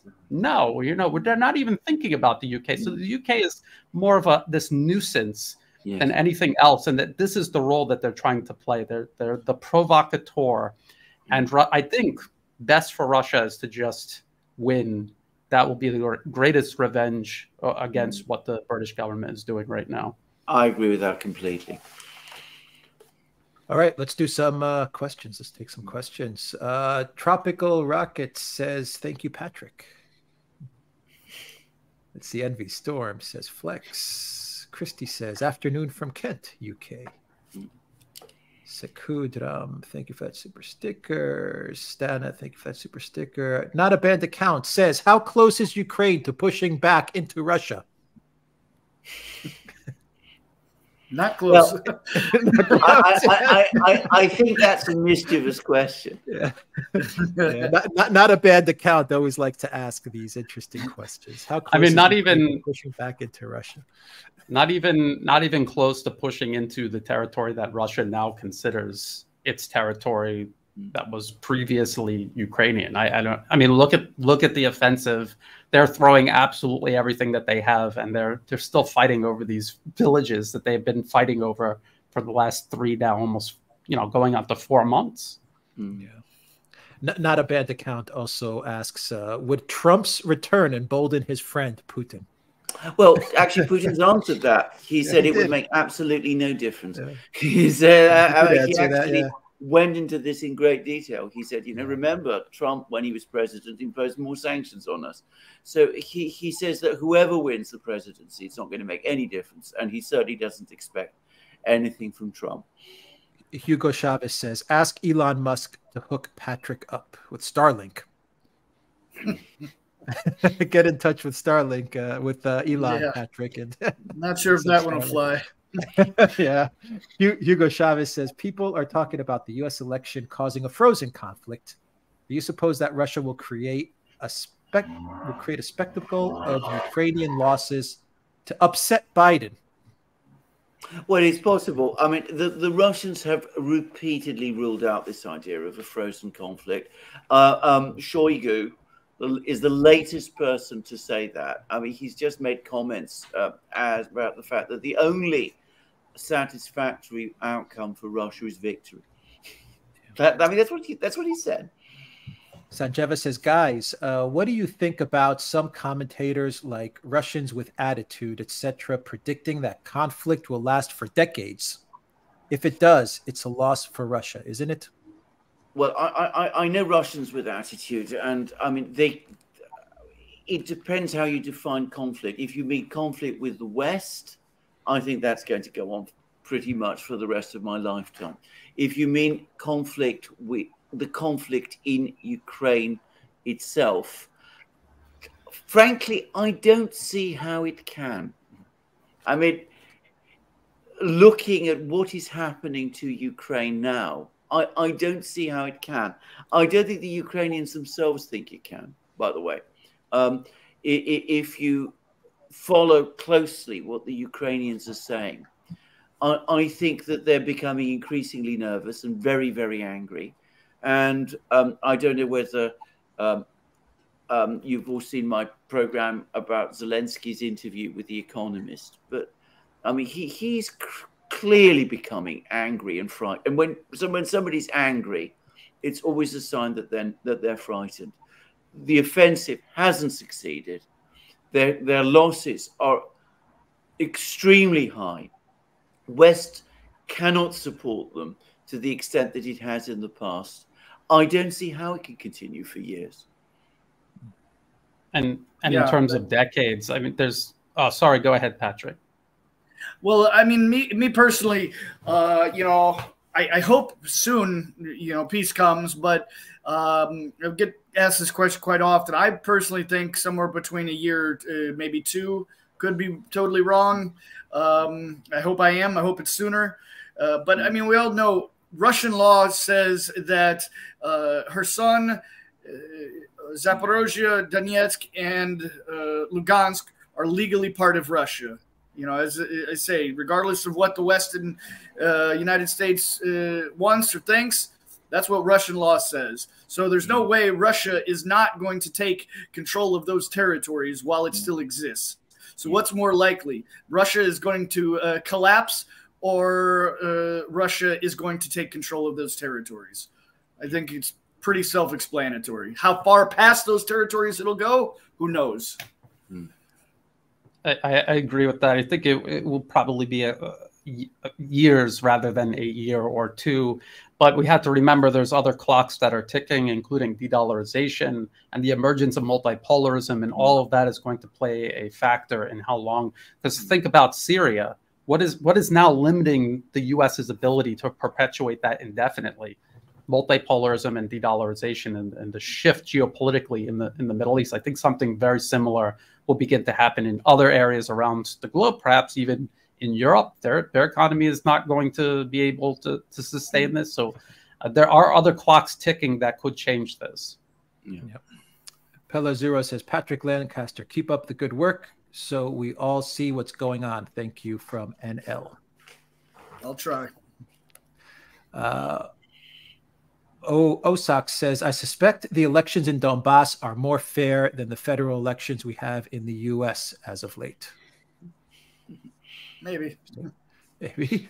Uh, Dangerous says, great live stream. Thanks, Alex, Alexander, Brian, and Patrick. Keep up the amazing work. Let's see. Summer of 1970 says, best geopolitical channel on the net. Uh, Rafik Adams says, when will Putin decide to end the war? And what does it look like? I cannot understand why he allows these attacks to continue as it emboldens Ukraine to continue. Why not just end it to save lives?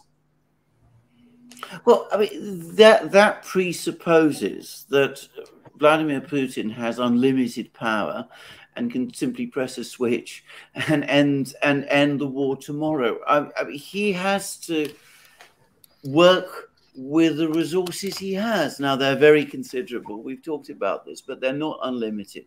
And of course, it's not as if the other side doesn't have resources as well.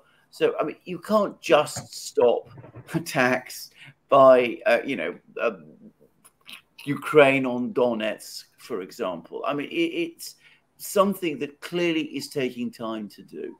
So it, it's not an option for him in that kind of a way. I mean, I, I, I think that this is a misunderstanding of the realities. Patrick, Brian, any thoughts? Well, I, I would just say that uh, think, think about mobilization in Russia. Uh, in the very, very beginning, was that even possible? And some people say yes, some people say no. But as the conflict continues, as Ukraine attacks uh, within Russia, it makes it more possible. It, it gives Moscow more more capital. Uh, as Alexander said, Moscow is not all powerful, so they have to think of a, a multitude of factors, not just their own military capabilities, but domestic Russian politics, the sentiment across the Russian population, as well as their allies, India. Imagine if uh, Russia went in full tilt into Ukraine in February 2022, how difficult it would have been for Russia to convince India to lean in their direction rather than the West. Think about how powerful the West's propaganda was in the very beginning. So this is this demonstrates just how deep and how far into the future Russia is thinking versus the reflexive, uh, almost reptilian instincts of the West. And it, I think it is working out. And again, if you followed the Syrian conflict from 2011 up until now, you will see that this patience does really pay off, and that if you try to rush it, there are consequences. There's possible escalation, things going in the opposite direction that, that you want them to go. Uh, for Patrick, for Patrick, we hear a lot of pro-Ukraine propaganda, but I suspect Ukraine is close to collapse. Oh, oh boy, I lost it. Uh, do you get a sense of any of this from the soldiers you meet, the Russian soldiers that you meet, and what they report to you? Do you have a sense of Ukraine military's changing composition, age and equipment, strategies, or morale? Well, you know, when I'm on the front line, like I, said, I talk to the soldiers about what they're feeling, and their morale hasn't changed so much. This is the Russian soldiers. As far as the morale and composition of the Ukrainian soldiers, I'm the wrong one to ask. But the the Russians are steadfast in their confidence of uh, victory, whatever it may come. When they don't know. All right. Uh, at at GEG says for Brian, do you see Russia's purchase of NK ammunition as a sign of replacing shortfalls? Russia's running out of ammo, or more a sign of stockpiling reserves for future conflict? I don't know that we've actually confirmed that this is happening. This is something the West claims is happening. Of course, Russia is is obviously and openly stating they're going to have a closer relationship with North Korea. in a, a, conflict like this, the more the better for Russia. So even if they were able to, to manufacture everything themselves, getting additional surplus can't possibly hurt. But we have to confirm that that's actually happening. I, I, think they probably don't need it, but if they, they could get it, that would probably be positive. I, I want to endorse that. I mean, the entire coverage of this meeting between Putin and Kim Jong un in the West has been almost exclusively around this question of the Russians buying ammunition from the Koreans, the North Koreans. If you actually look at what the North Koreans and the Russians are saying, they talk about lots and lots and lots of important things and very interesting things. That's the one issue that the one thing they've never talked about. they've never actually talked about buying uh, North Koreans selling ammunition to the Russians. So this is pure speculation at the moment. We've got no evidence it's happening at all. And the focus on it is taking people away from the important things that the Russians and the North Koreans are publicly saying that they're going to start doing with each other. And, and so, the irony is the, the the only confirmed use of North Korean munitions in this conflict has been by Ukraine because the West seized North Korean munitions and gave them to Ukraine because the West is so short on munitions. That is an irony. Mm-hmm. Yeah, Sanjeva says the problem is this is really a war between Russia and the USA, and the war isn't affecting the USA as much as Russia or Europe. So by not finishing this war quickly, is Russia shooting itself in the foot? Well, first of all, I think the United States is more affected by this war than it perhaps understands, or at least than leaders understand. Uh, this is one point, by the way, where I, I mean, uh, John Mearsheimer in that program that we did, he said that the American perception is that they're not affected, but they are affected. We're seeing again how oil prices are rising. And one of the reasons oil prices are rising is because as a result of the war, supply chains for oil have been disrupted largely by the United States itself. So the US is affected. Its military stockpiles are running down. And more to the point, the war is acting as a catalyst around the world for changes in the political, geopolitical situation. We see the Russians and the North Koreans talking to each other. We see the G20 uniting the, the, the, global South countries uniting against the United States at the G20. We see lots of things like that going on around the world. So I think the US is affected. And I think there are some people like Samuel Charap in the US who are actually trying to warn people in Washington about that. I would say, and here I would somewhat push back on this, for the moment, I'm not advocating a long war. But for the moment, the effect of the long war, of a long war, is it's making the Russians stronger. Their economy is surging. Their alliances and friendships around the world are hardening. And it's the United States that is seeing its arsenals deplete and countries around the world start maneuvering against it. So a long war seems for the moment to be favoring the Russians more than the Americans. That's my sense, at least. And and wasn't Saudi Arabia and Iran repairing ties? Wasn't that spurred by the, the oil, the cap, the, the well, price cap? Exactly, exactly, exactly. Sparky, Sparky says, Patrick, thanks for your on the ground observations and insights. Mm-hmm.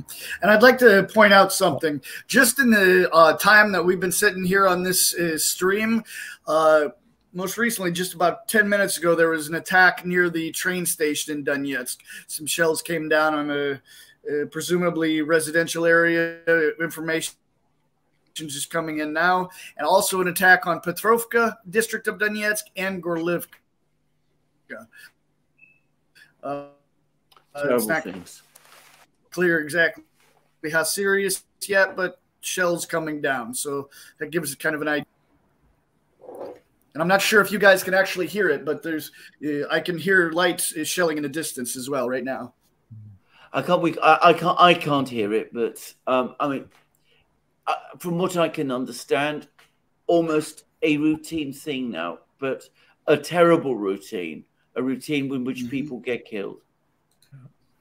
Nina says Alexander Mercouris, genius, Patrick Lancaster, hero. Nina, what about what about me and Brian? Nina. Let's see. Uh, Jason says the strategy of the U.S. is to accelerate the Great Reset. Okay. Um, let me see here. Sparky says build back, build a better world with bricks. Mm-hmm. Mobius Zero says, why do people think Russia is so weak? Why do people think that Russia is why, so why weak? do people been think Russia that, so if I can say so, for hundreds of years. There's nothing new about this. I mean, Napoleon thought. A very good question. Charles thought it. All of these people always end up thinking it, and it always turns out horribly wrong. But they go on thinking it. I mean, I don't know. It's a great I question. Mean, can, can I just say, I mean, we're talking about morale and, you know, the effect of all of these things. I mean, and uh, the effect, for example, of missile strikes on Crimea and whatever. Now, the only time I've ever been close to a, well, a war zone, if you like, was in, believe it or not, in Moscow. I was there in Moscow in the early 2000s when there were terrorist bombs being exploded there on an enormous scale. And I was there at the time of Beslan, when you know that town that that that school was taken the hostages were taken and i can remember when uh, uh, bombs were being placed on russian civilian jets and they were being blown up and of course i i had a comparison because i remembered the terrorist events in london in the 1970s and again in the early in the mid 2000s over the you know the the the, the, the attacks on the london underground and i have to say the thing that struck me was how very disciplined the Russian population is. They just get on with their lives. It didn't seem to be particularly fazed by this. They talk about it, but there wasn't the sense of panic and dismay that I can remember in London. So, you know, why do people think that Russia is weak? because it's not never has been it's it's it's a mistake that westerners constantly make because they're living with stereotypes of russia rather than the real country and, and I would I would add that the same applies to their perception of China. Absolutely. They think it's some sort of inferior uh, country with inferior people, when in reality they are they are surpassing not just the U.S. but G7 combined. And no matter what the US tries to do to undermine China, they are finding ways to overcome it. So uh, it is it is the the classic uh, mindset where people project onto these people that they're inferior, and that is their own undoing. Yeah, underestimating them. Yeah. Um, Harry Smith says both Macgregor and Martyanov have independently confirmed Russia planned from the start of the SMO to take about 30 months. So we've got just under a year left. Well, that's that's their predictions. I mean, I, I I'm not going to say more. Uh, let's see here. Robert says, "What are the chances of NATO guiding Ukraine into a failed state in the event of defeat?" with terrorists in the in the lead like it tries to do in the Middle East and North Africa? I don't think it's going to happen, actually. I know a lot of people think that, but I don't think that Russia will allow uh, uh, a failed state like you, uh, uh, that kind of situation to arise in Ukraine. I think that they would see that as a danger to themselves and they would do something to prevent it. Hmm. Elza says, I'm not a military expert, but the only wonder weapons that seem to work are chips from washing machines that are used for Russian military equipment. True. True. Uh, Raul says, It's been a long time since I managed to get a live show. However, I never miss a Duran show. Thanks for coming on Twitter. Thank you, Raul, for that. I'm just working through the questions, guys. If if the missiles had ruptured the reactors, would the West be as happy? How how many countries would that have affected? Affected? Well, I don't know. Uh, I, I, mean, I'm not going to get into the technologies or the effects of all of this. I presume you're talking now about the Zaporozhye nuclear power plant and the attacks on it. But um, the the rumors are that there was a plan by Ukraine to carry out some kind of major event at the Zaporozhye nuclear power plant. That the Russians gave lots of warnings about it, and the European governments were dismayed and they phoned up uh, uh, Zelensky and they told him under no circumstances do it. And that that was a couple of months ago. So I, I think that they will not let it happen.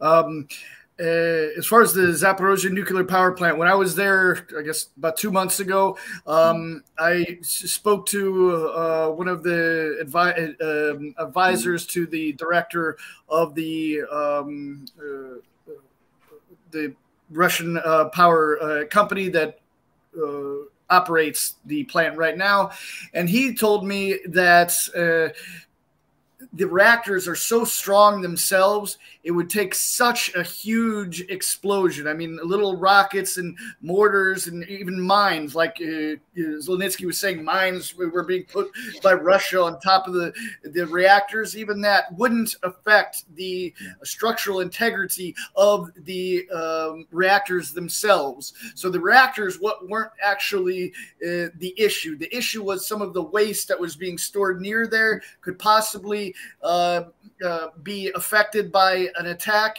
or of course, the possibility of a dirty bomb uh, being uh, sent by Ukraine. But the reactors themselves, uh, I've been told by the workers there, and the, uh, that's they're just not a threat, really. Hmm. Interesting. Uh, Michael, thank you for that super chat. Um, Ralph, thank you for that. Zahir, thank you for that. Let me see. ISO 982, thank you.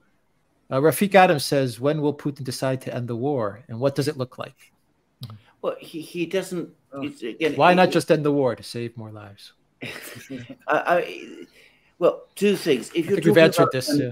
if you're talking about yeah. a, nego- a negotiated solution to the war, then by definition, a negotiation requires two parties to it. I mean, that that's that's something I think we can all agree with. And Putin's already made clear what Russia's conditions in negotiations would be. And I don't see any sign at all that anybody in the West is interested in meeting those conditions or anyone in Ukraine is. If you're talking about achieving a military victory, well, we've talked about how that isn't something that it is in Putin's absolute power to achieve tomorrow. So, I mean, you know, he's got to work towards a victory. The Russians do. it, the, these things just, by their nature, take time. If you're talking about him capitulating and walking away, well, it's not happening. And nobody in Russia, these no, overwhelmingly people in Russia, and even more overwhelmingly, I suspect, people in Donbass and in Crimea don't want him to do that. So, I, I mean, that's the only answer I can give you, I think. I don't know what the others have to say, but. Well, I, I would add to that a lot of people imagine that Russia mm. uh, entering into Ukraine, waging the special military operation is a lot like the U.S. invading Iraq, but it, it isn't. Ukraine mm. is geographically larger, its population is larger, its military is larger, better trained better armed. Even at this point, this late in, in the conflict, and after all of the losses Ukraine has suffered, they still have air defense capabilities that prevents Russia from operating their military aviation freely over the, the entirety of Ukraine's airspace. So all of these things are constraints on Russia. And it's not as if any other country on earth would have an easier time doing this. As a matter of fact, we uh, I, I, was talking with Scott from Calibrated about this uh, on an, on another program, and we were talking about how the U.S. would would actually have had a harder time if if it was them going into Ukraine because they lack the amount of artillery that is actually making this possible for Russia, despite all of the differences between Ukraine and and mm. Iran. So people have to keep all all of these factors in mind. Mm. Brian, can I just ask very quickly? Did you see this thing in RUSI where uh, it was Jack Watling, who's one of the RUSI experts, because we hear so much about combined arms. He said he, he actually witnessed a training exercise in which uh, uh, an American armored unit, this is a unit that, you know, highly trained American soldiers equipped with all the tanks and infantry fighting vehicles and things like that, tried to break through you know, a notional defense line in a, in a, in an exercise, a defense line far less effective than the Surovikin line. And they weren't, I mean, it was a complete failure. I mean, in this exercise. And he said that he spent night, he's had night, nights, you know, awake thinking about this even before this Ukrainian offensive was launched. So they're talking about getting the Ukrainians to do things which even the United States, according to Watling, in its own in in just exercises wasn't able to do. I, have not seen that, but what that tells me is yeah. that uh, well, we lost Patrick. Yeah. Uh, what it tells what it tells me is that there are people in the U.S. military who are being objective, who are yeah. looking at this and understand the realities of all of this. And we we all talked about the U.S. and say Desert Storm breaching Iraq's minefields and how they were able to do that because of the capabilities that they had and because of the the the reality of the mm. state the Iraqi military was in. Mm. The Russian Federation today is is nowhere near that. It's so far beyond what Iraq was. Mm-hmm. And so, so all the advantage, advantages that the U.S. had then, it does not have with Russia. And everyone is now starting to point out that the United States itself has never gone up against an integrated air defense system like like Russia's has not ever done that. So mm-hmm. to to think that the U.S. would be able to do this is is a misconception, and then to think that Ukraine can do it without any air power at all, that that is asking for the impossible. Adnan Calrissian says, as far as I'm concerned, Putin has to finish this nonsense and finish this now, ASAP. Well, I think we've answered that question. Yeah. Raf- yeah. Rafik says, what is what is your opinion on the recent spat between Musk and the Biden administration regarding Starlink access? I get to make my own I did a few observations. Well, first of all, I mean the story was wrong. The original story, I think, is now wrong, and it all started with something that was said in a book about Musk and the person who's written that has now retracted it. But um, ultimately, I mean, I've been hearing so much about this story. It's not. It's not a game-changing event in terms of the of the war, and Starlink overall has been enormously useful to Ukraine. So there might have been some problem. Well, in fact, there weren't apparently any problems with a particular this particular attack. But overall, without Starlink, Ukraine couldn't have conducted the war in the way that it has at all. And um, criticizing Musk in this kind of way is very much a case again of biting the hand that feeds you. And, and looking for a scapegoat because they're they're pretending as if if Elon Musk allowed this to happen, then the, the outcome of all of this would have been different when in reality it wouldn't have been. And yeah. there was that financial, I believe it was the Financial Times, that former British Army general talking about how, you know, we need to sink the Black Sea fleet. Like, even if you sank the entire Black Sea fleet, Russia would still be able to fire cruise missiles at Ukraine. That that would that would not really change that much, honestly. Mm-hmm. And and so to to think that this one attack that they were going to use Starlink for that that was a game changer. Again, it goes back to this this mindset of thinking there are a thing a, a such thing as a game changer in the first place when there isn't. Mm. Yeah. Paul Walker says reactors for the ships, not for the Zaporozhye nuclear power plant. Right. Um, reactors on the ships. Sorry, on yes, the ships. Yeah, I mean there are no nuclear powered Russian warships in the Black Sea. I think that's that's I think that's the, the question. Yeah. Yeah, I mean there are no nuclear powered yeah. Russian warships in the Black Sea. That is not where Russia has its nuclear fleet. I mean it's in the north, uh, the northern fleet in the Arctic and in the Pacific, but not in the Black Sea. So there is the, the question just doesn't arise.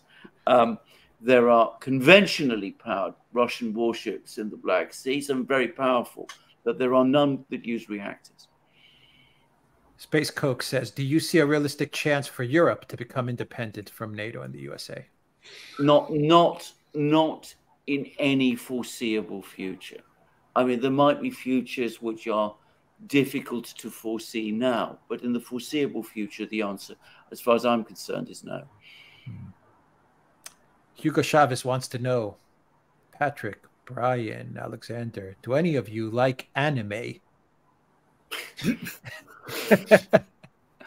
Uh, um, why, why um, not? Yeah. Well, um, hardly. I mean, it's not something I really uh, uh, followed very much at all. I mean, it's more your part of the world and perhaps a little closer to some of the work you do, Brian. I mean, I can't say.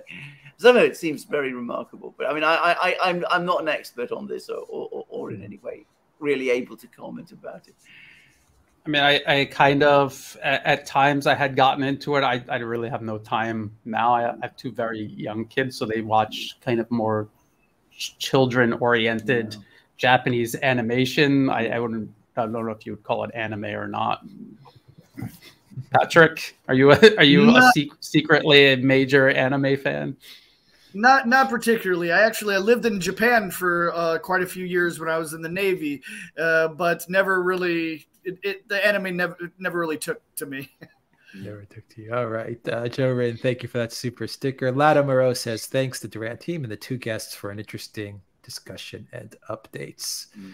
And Brent says, uh, parliamentary report on the state of the Royal Air Force is damning. It's a broken force. Why on earth is the UK picking fights with anybody when, by its own admission, it couldn't defend a, a cake a cake stall?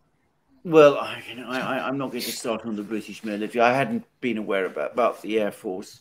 What I can, what I do know, is that out of the 120 tanks that the British military has, apparently only 40 are operational.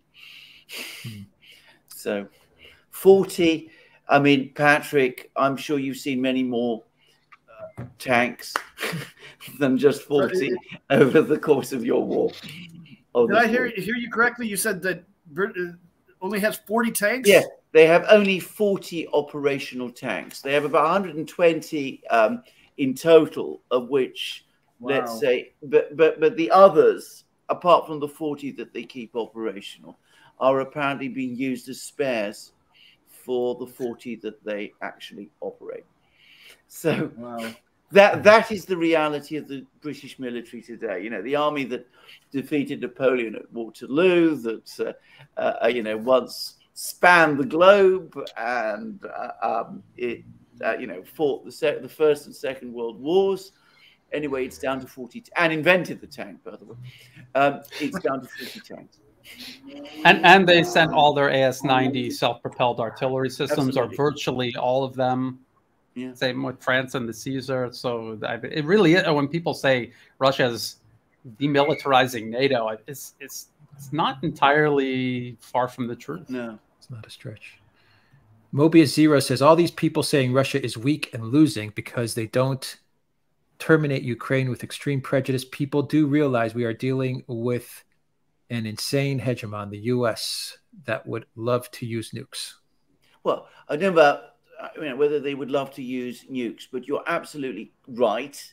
This isn't just a war between Russia and Ukraine. If it was, it would have been over year, you know, last year, uh, in the early part, within the first few months of the op- military operation, first few weeks, it would have been over. The reason it's going on is because it is a it is a conflict uh, between Russia and America. And General Milley has helpfully confirmed that. He didn't disagree that it was a proxy war. And there he was with his banks of screens and control rooms. And, you know, it was pretty obvious that he's running things. Sajeva says, guys, do you think it's it's time for Russia to articulate what victory will look like? It could make it easier for the Russian population to withstand these drone strikes and obstacles to daily life going forward?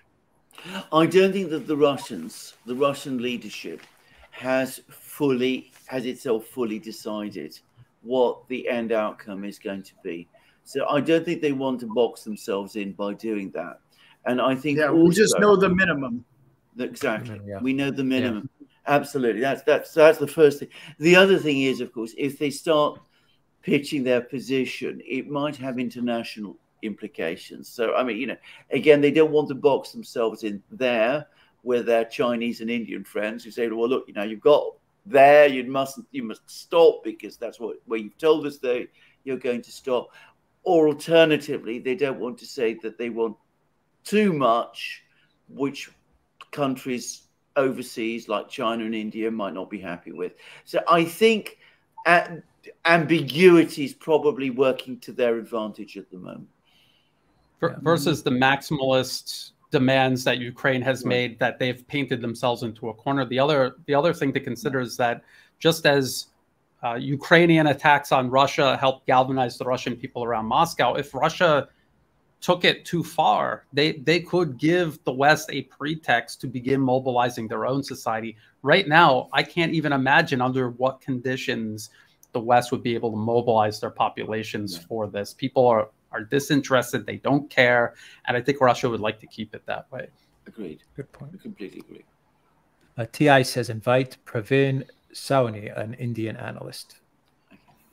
We'll do that. Um, let's see here. What what is the panel's opinion on the recent piece by Colonel Macgregor on the Ukraine war?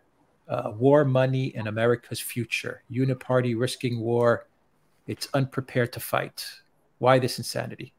Well, I haven't I, read that piece. I haven't read that piece either. It's just, it's it's, it's an it's an omission of mine because I generally read all his pieces, but that one I haven't read. But I I'm pretty sure it's much in line with the other pieces that he's written, and I think it's insightful. I, am sure it'll be as insightful as the others. I will say this about Colonel Macgregor, with apologies to him, he's not always right in his predictions about tactical and operational events, but in his overall um, sense of the war and its outcome and what it's doing for the United States, I think that he's absolutely right. Uh, Rafiqat, no, wait. Uh, Anshuman Mishra says, Can we talk about Armenia? Pashinyan's rhetoric is getting more anti Russian. Could it go the 2008 Georgia way, or can it be stopped?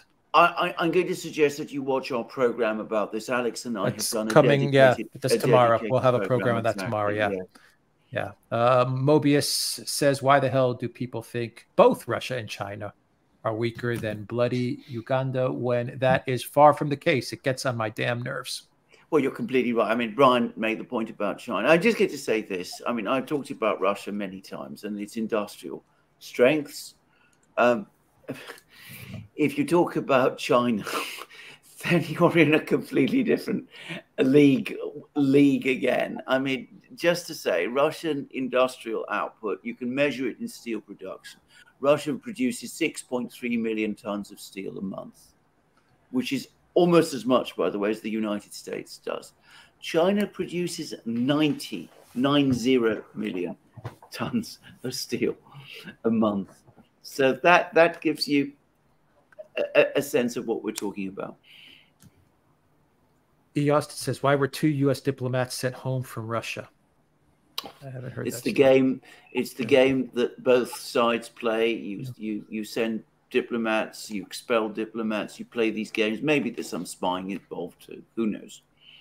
Danielle says, "Thank you, Patrick, for bringing us the voice of the people of Donbass. So so respect that you learned the language, not easy with all the losses. With all the losses, how can this war go on? Do you see an end soon? Hoping for peace. No, I think we. I think I think that. you've answered. Yeah, yeah, I think you've covered that. Yeah. Yeah, and just to let people know, again, there's been another attack just in the last uh, minutes in the Putilovki uh, district of uh, Kiev or the Kievsky district. There's a house burning right now, apparently. Mm-hmm. Uh, Ad Hill says, "Why is everyone excited about the AfD becoming popular in Germany? They will be bullied into being exactly the same as the Scholz government, if not worse." I mean, look at because because if you know Germany at all, you will know that a change, even if the AfD gets bullied, it will be such a complete break in Germany's political system that it would be a big event in itself. Yeah. Eileen Gibson, thank you for that. Lucolo, thank you for that. Kyle Woolley says, have a good day. Rafiq said, how long do you think it will be before Putin concludes the West does not know how or is unwilling to end the war and escalates to end it on his own terms? I think, I think, I think he came to that conclusion months yeah. ago, actually. Yeah. HP Lovecraft, thank you for that. V Plan, thank you for that. Uh, Paul Walker says their first, second, and third line medical services are overrun. Recruiting those with TB, HIV is not the greatest of ideas. This is about Ukrainian. This is about the Ukrainians, I think. Yeah. Yeah. Well, wasn't there an announcement? I, I, I wasn't able to confirm this. They were talking about re, uh, conscripting 16 year olds, Ukraine. Is, this confirmed? Yeah, they're they're they're. Go on. No, they're trying to extradite a lot of the the men who are in Europe. I mean, that's story. There's a lot of countries now which are starting to give answers as far as whether they're going to extradite, like yeah. Czech Republic and a few other countries said no. I think Ireland said yes. I'm not sure. Oh, really? I'm not sure about that. That's interesting. I have to check it out. But I'll be very interested to see what Britain says. But yes, yeah. there was there was a there was a suggestion floated by Ukrainian official that they start recruiting 16 year olds, which yeah. I, I have to say horrified me. Yeah.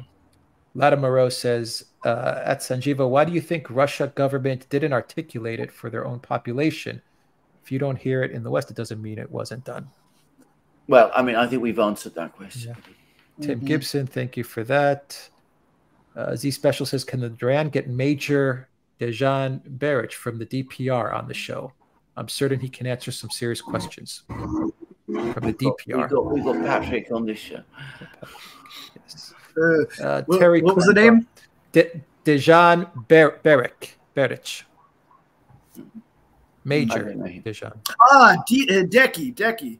Uh huh. Well, uh, I mean, it could be possible, but his English isn't that great, so I don't think it would really be a good fit uh, for a live show. Hmm. Uh, Terry Clark says there is a video going around claiming to be Ukraine army shelling their own friend, shelling their own friendly fire. Is it current? Is it current and Ukraine or the Russians? I mean, I haven't seen the video, so I can, couldn't say. I mean, it's not the kind of thing that we can we can confirm or, do, or, or at least I can't confirm or refute. Paul Walker says it's like a game of knockdown ginger with these Ukrainian attacks, yet the MSN lauds over it. It's getting embarrassing being a Westerner. Yes. Mo- Mobius says, Here is a sick bet for you. Who will nuke Japan first? Russia, China, or North Korea? Place your bets. None of those countries, None. I hope. Something people don't understand is that uh, China is Japan's largest trade partner. Absolutely. Uh, China is also South Korea's largest trade partner. As a matter of fact, most of the countries that the U.S. is trying to recruit as a proxy against China, China is their largest trade partner. So uh, that when they are compelling these nations to take a, a position against China, they're actually uh, compelling them to go against their own best interests very clearly. Yeah. All right. Let's wrap it up. Anna, thank you for joining Duran community. Uh, Hank, thank you for that. Uh, Elza says, "Is there an impact on the Western Cluster munitions depleted uranium shells on the battlefields?" Patrick, you are you seeing an impact? Well, I can tell. Cluster? Uh, yeah, I, have seen cluster munitions. The United States supplied cluster bombs, but I've only seen them uh, uh, fired on civilian areas. In my last couple of reports, I uh, showed some of the aftermath of um, the residents showing me how United States cluster bombs came down on their homes. Uh, so I haven't seen any effect on the front line yet, uh, but I've only seen them in civilian areas. Mm-hmm. Raphael says Raphael says, Brian, bro, both former U.S. Marines, to repel and destroy all enemy attacks. We used to recite this every night. Why is Russia not applying it? Too. I, I think Russia is. I think they've. I mean, they've repelled this massive offensive. Uh, the, this the third army that NATO has transferred over to Ukraine in terms of equipment and trained manpower. I think they are they're repelling it right now. I mean, there's there's the reality of modern warfare that that makes these things much more difficult than people imagine it to be. Just go to Google Earth and zoom in and and look at how big these areas are, and just imagine even if you have drones or satellites, how much difficulty it is to cover all of these areas. And if you have that much trouble just seeing the battlefield, how much trouble do you have dominating it with your weapons? So I think Russia is doing uh, pr pretty well considering the realities of it all. Hmm. Uh, Raphael says Russia is done fighting Ukraine. Russia is preparing the force necessary to protect China when NATO and specifically the U.S. attacks. Well, um, I think they still have the war in Ukraine to finish first. Yeah. Hugo says, apart from the Kerch detachment, are there any other? Are there any other anime appreciating unit? What anime appreciating units in Ukraine? I know Kadyrov is. I know I know Kadyrov is an anime fan. Oh, really? I didn't. I didn't. Know. Okay, that I didn't know. Sparky says, make Ukraine Russia again. Don't even lose a patch called Ukraine. At least it remain a NATO playground in money laundering. It might come to that even. Yeah. Santiago says, how many more losses can the Ukrainians actually take? Why is Western media not addressing the bloodbath that is for the Ukraine military? That is for me the. It doesn't the, fit the, their narrative. Exactly. Doesn't fit, yeah. doesn't fit their narrative. Although and, they're beginning to, they're beginning to. Yeah. So, yeah. And Dominique says, when we see generals like Milley displaying countless decorations, one wonders if they represent certificates or incompetence or corruption, according to Macgregor. Participation. Mm-hmm. Participated. So he gets yeah. a ribbon. He gets a ribbon. And Maria Luisa says, thank you. And thank you for the information. And guys, uh, thank you, Brian. Thank you, Patrick, Alexander two and a half, almost two and a half hours. Thank you guys for sticking around and for answering everyone's questions and for letting everybody know what's going on. Um, a says, out of topic, will Javier Milei win in Argentina? We'll see. Tucker Carlson has a video from Argentina for the elections coming up on his channel on uh, X. All right, we'll wrap it up there. Any final thoughts, Patrick, Brian, Alexander? Um, well, I thank everybody that's online. Thanks for sticking here uh, with us. Uh, it's been a long one today. Um, if you haven't, subscribed to the Duran and uh, Brian's channel and my channel, and we got a lot more to come. That's and right. I have. I just want to say, I, I, what Patrick said, I have all the information in the description box down below, and as a pinned comment, Alexander, Brian final thoughts and we'll sign off. Well, all, all, I want to say is just to thank Brian and Patrick for being so generous with their time today. Mm-hmm. Yes, it's always an honor and a pleasure. It's always an honor and a pleasure to be on the Duran, and always I'm always glad to share the screen with Patrick. And Patrick, please, please be safe, and thank you again for the work you're doing. All right, and with that, we will sign off. And one final question, comment says current headline says the UK confirms its cruise missiles used in Sevastopol attack. Okay. Take care, everybody. Bye.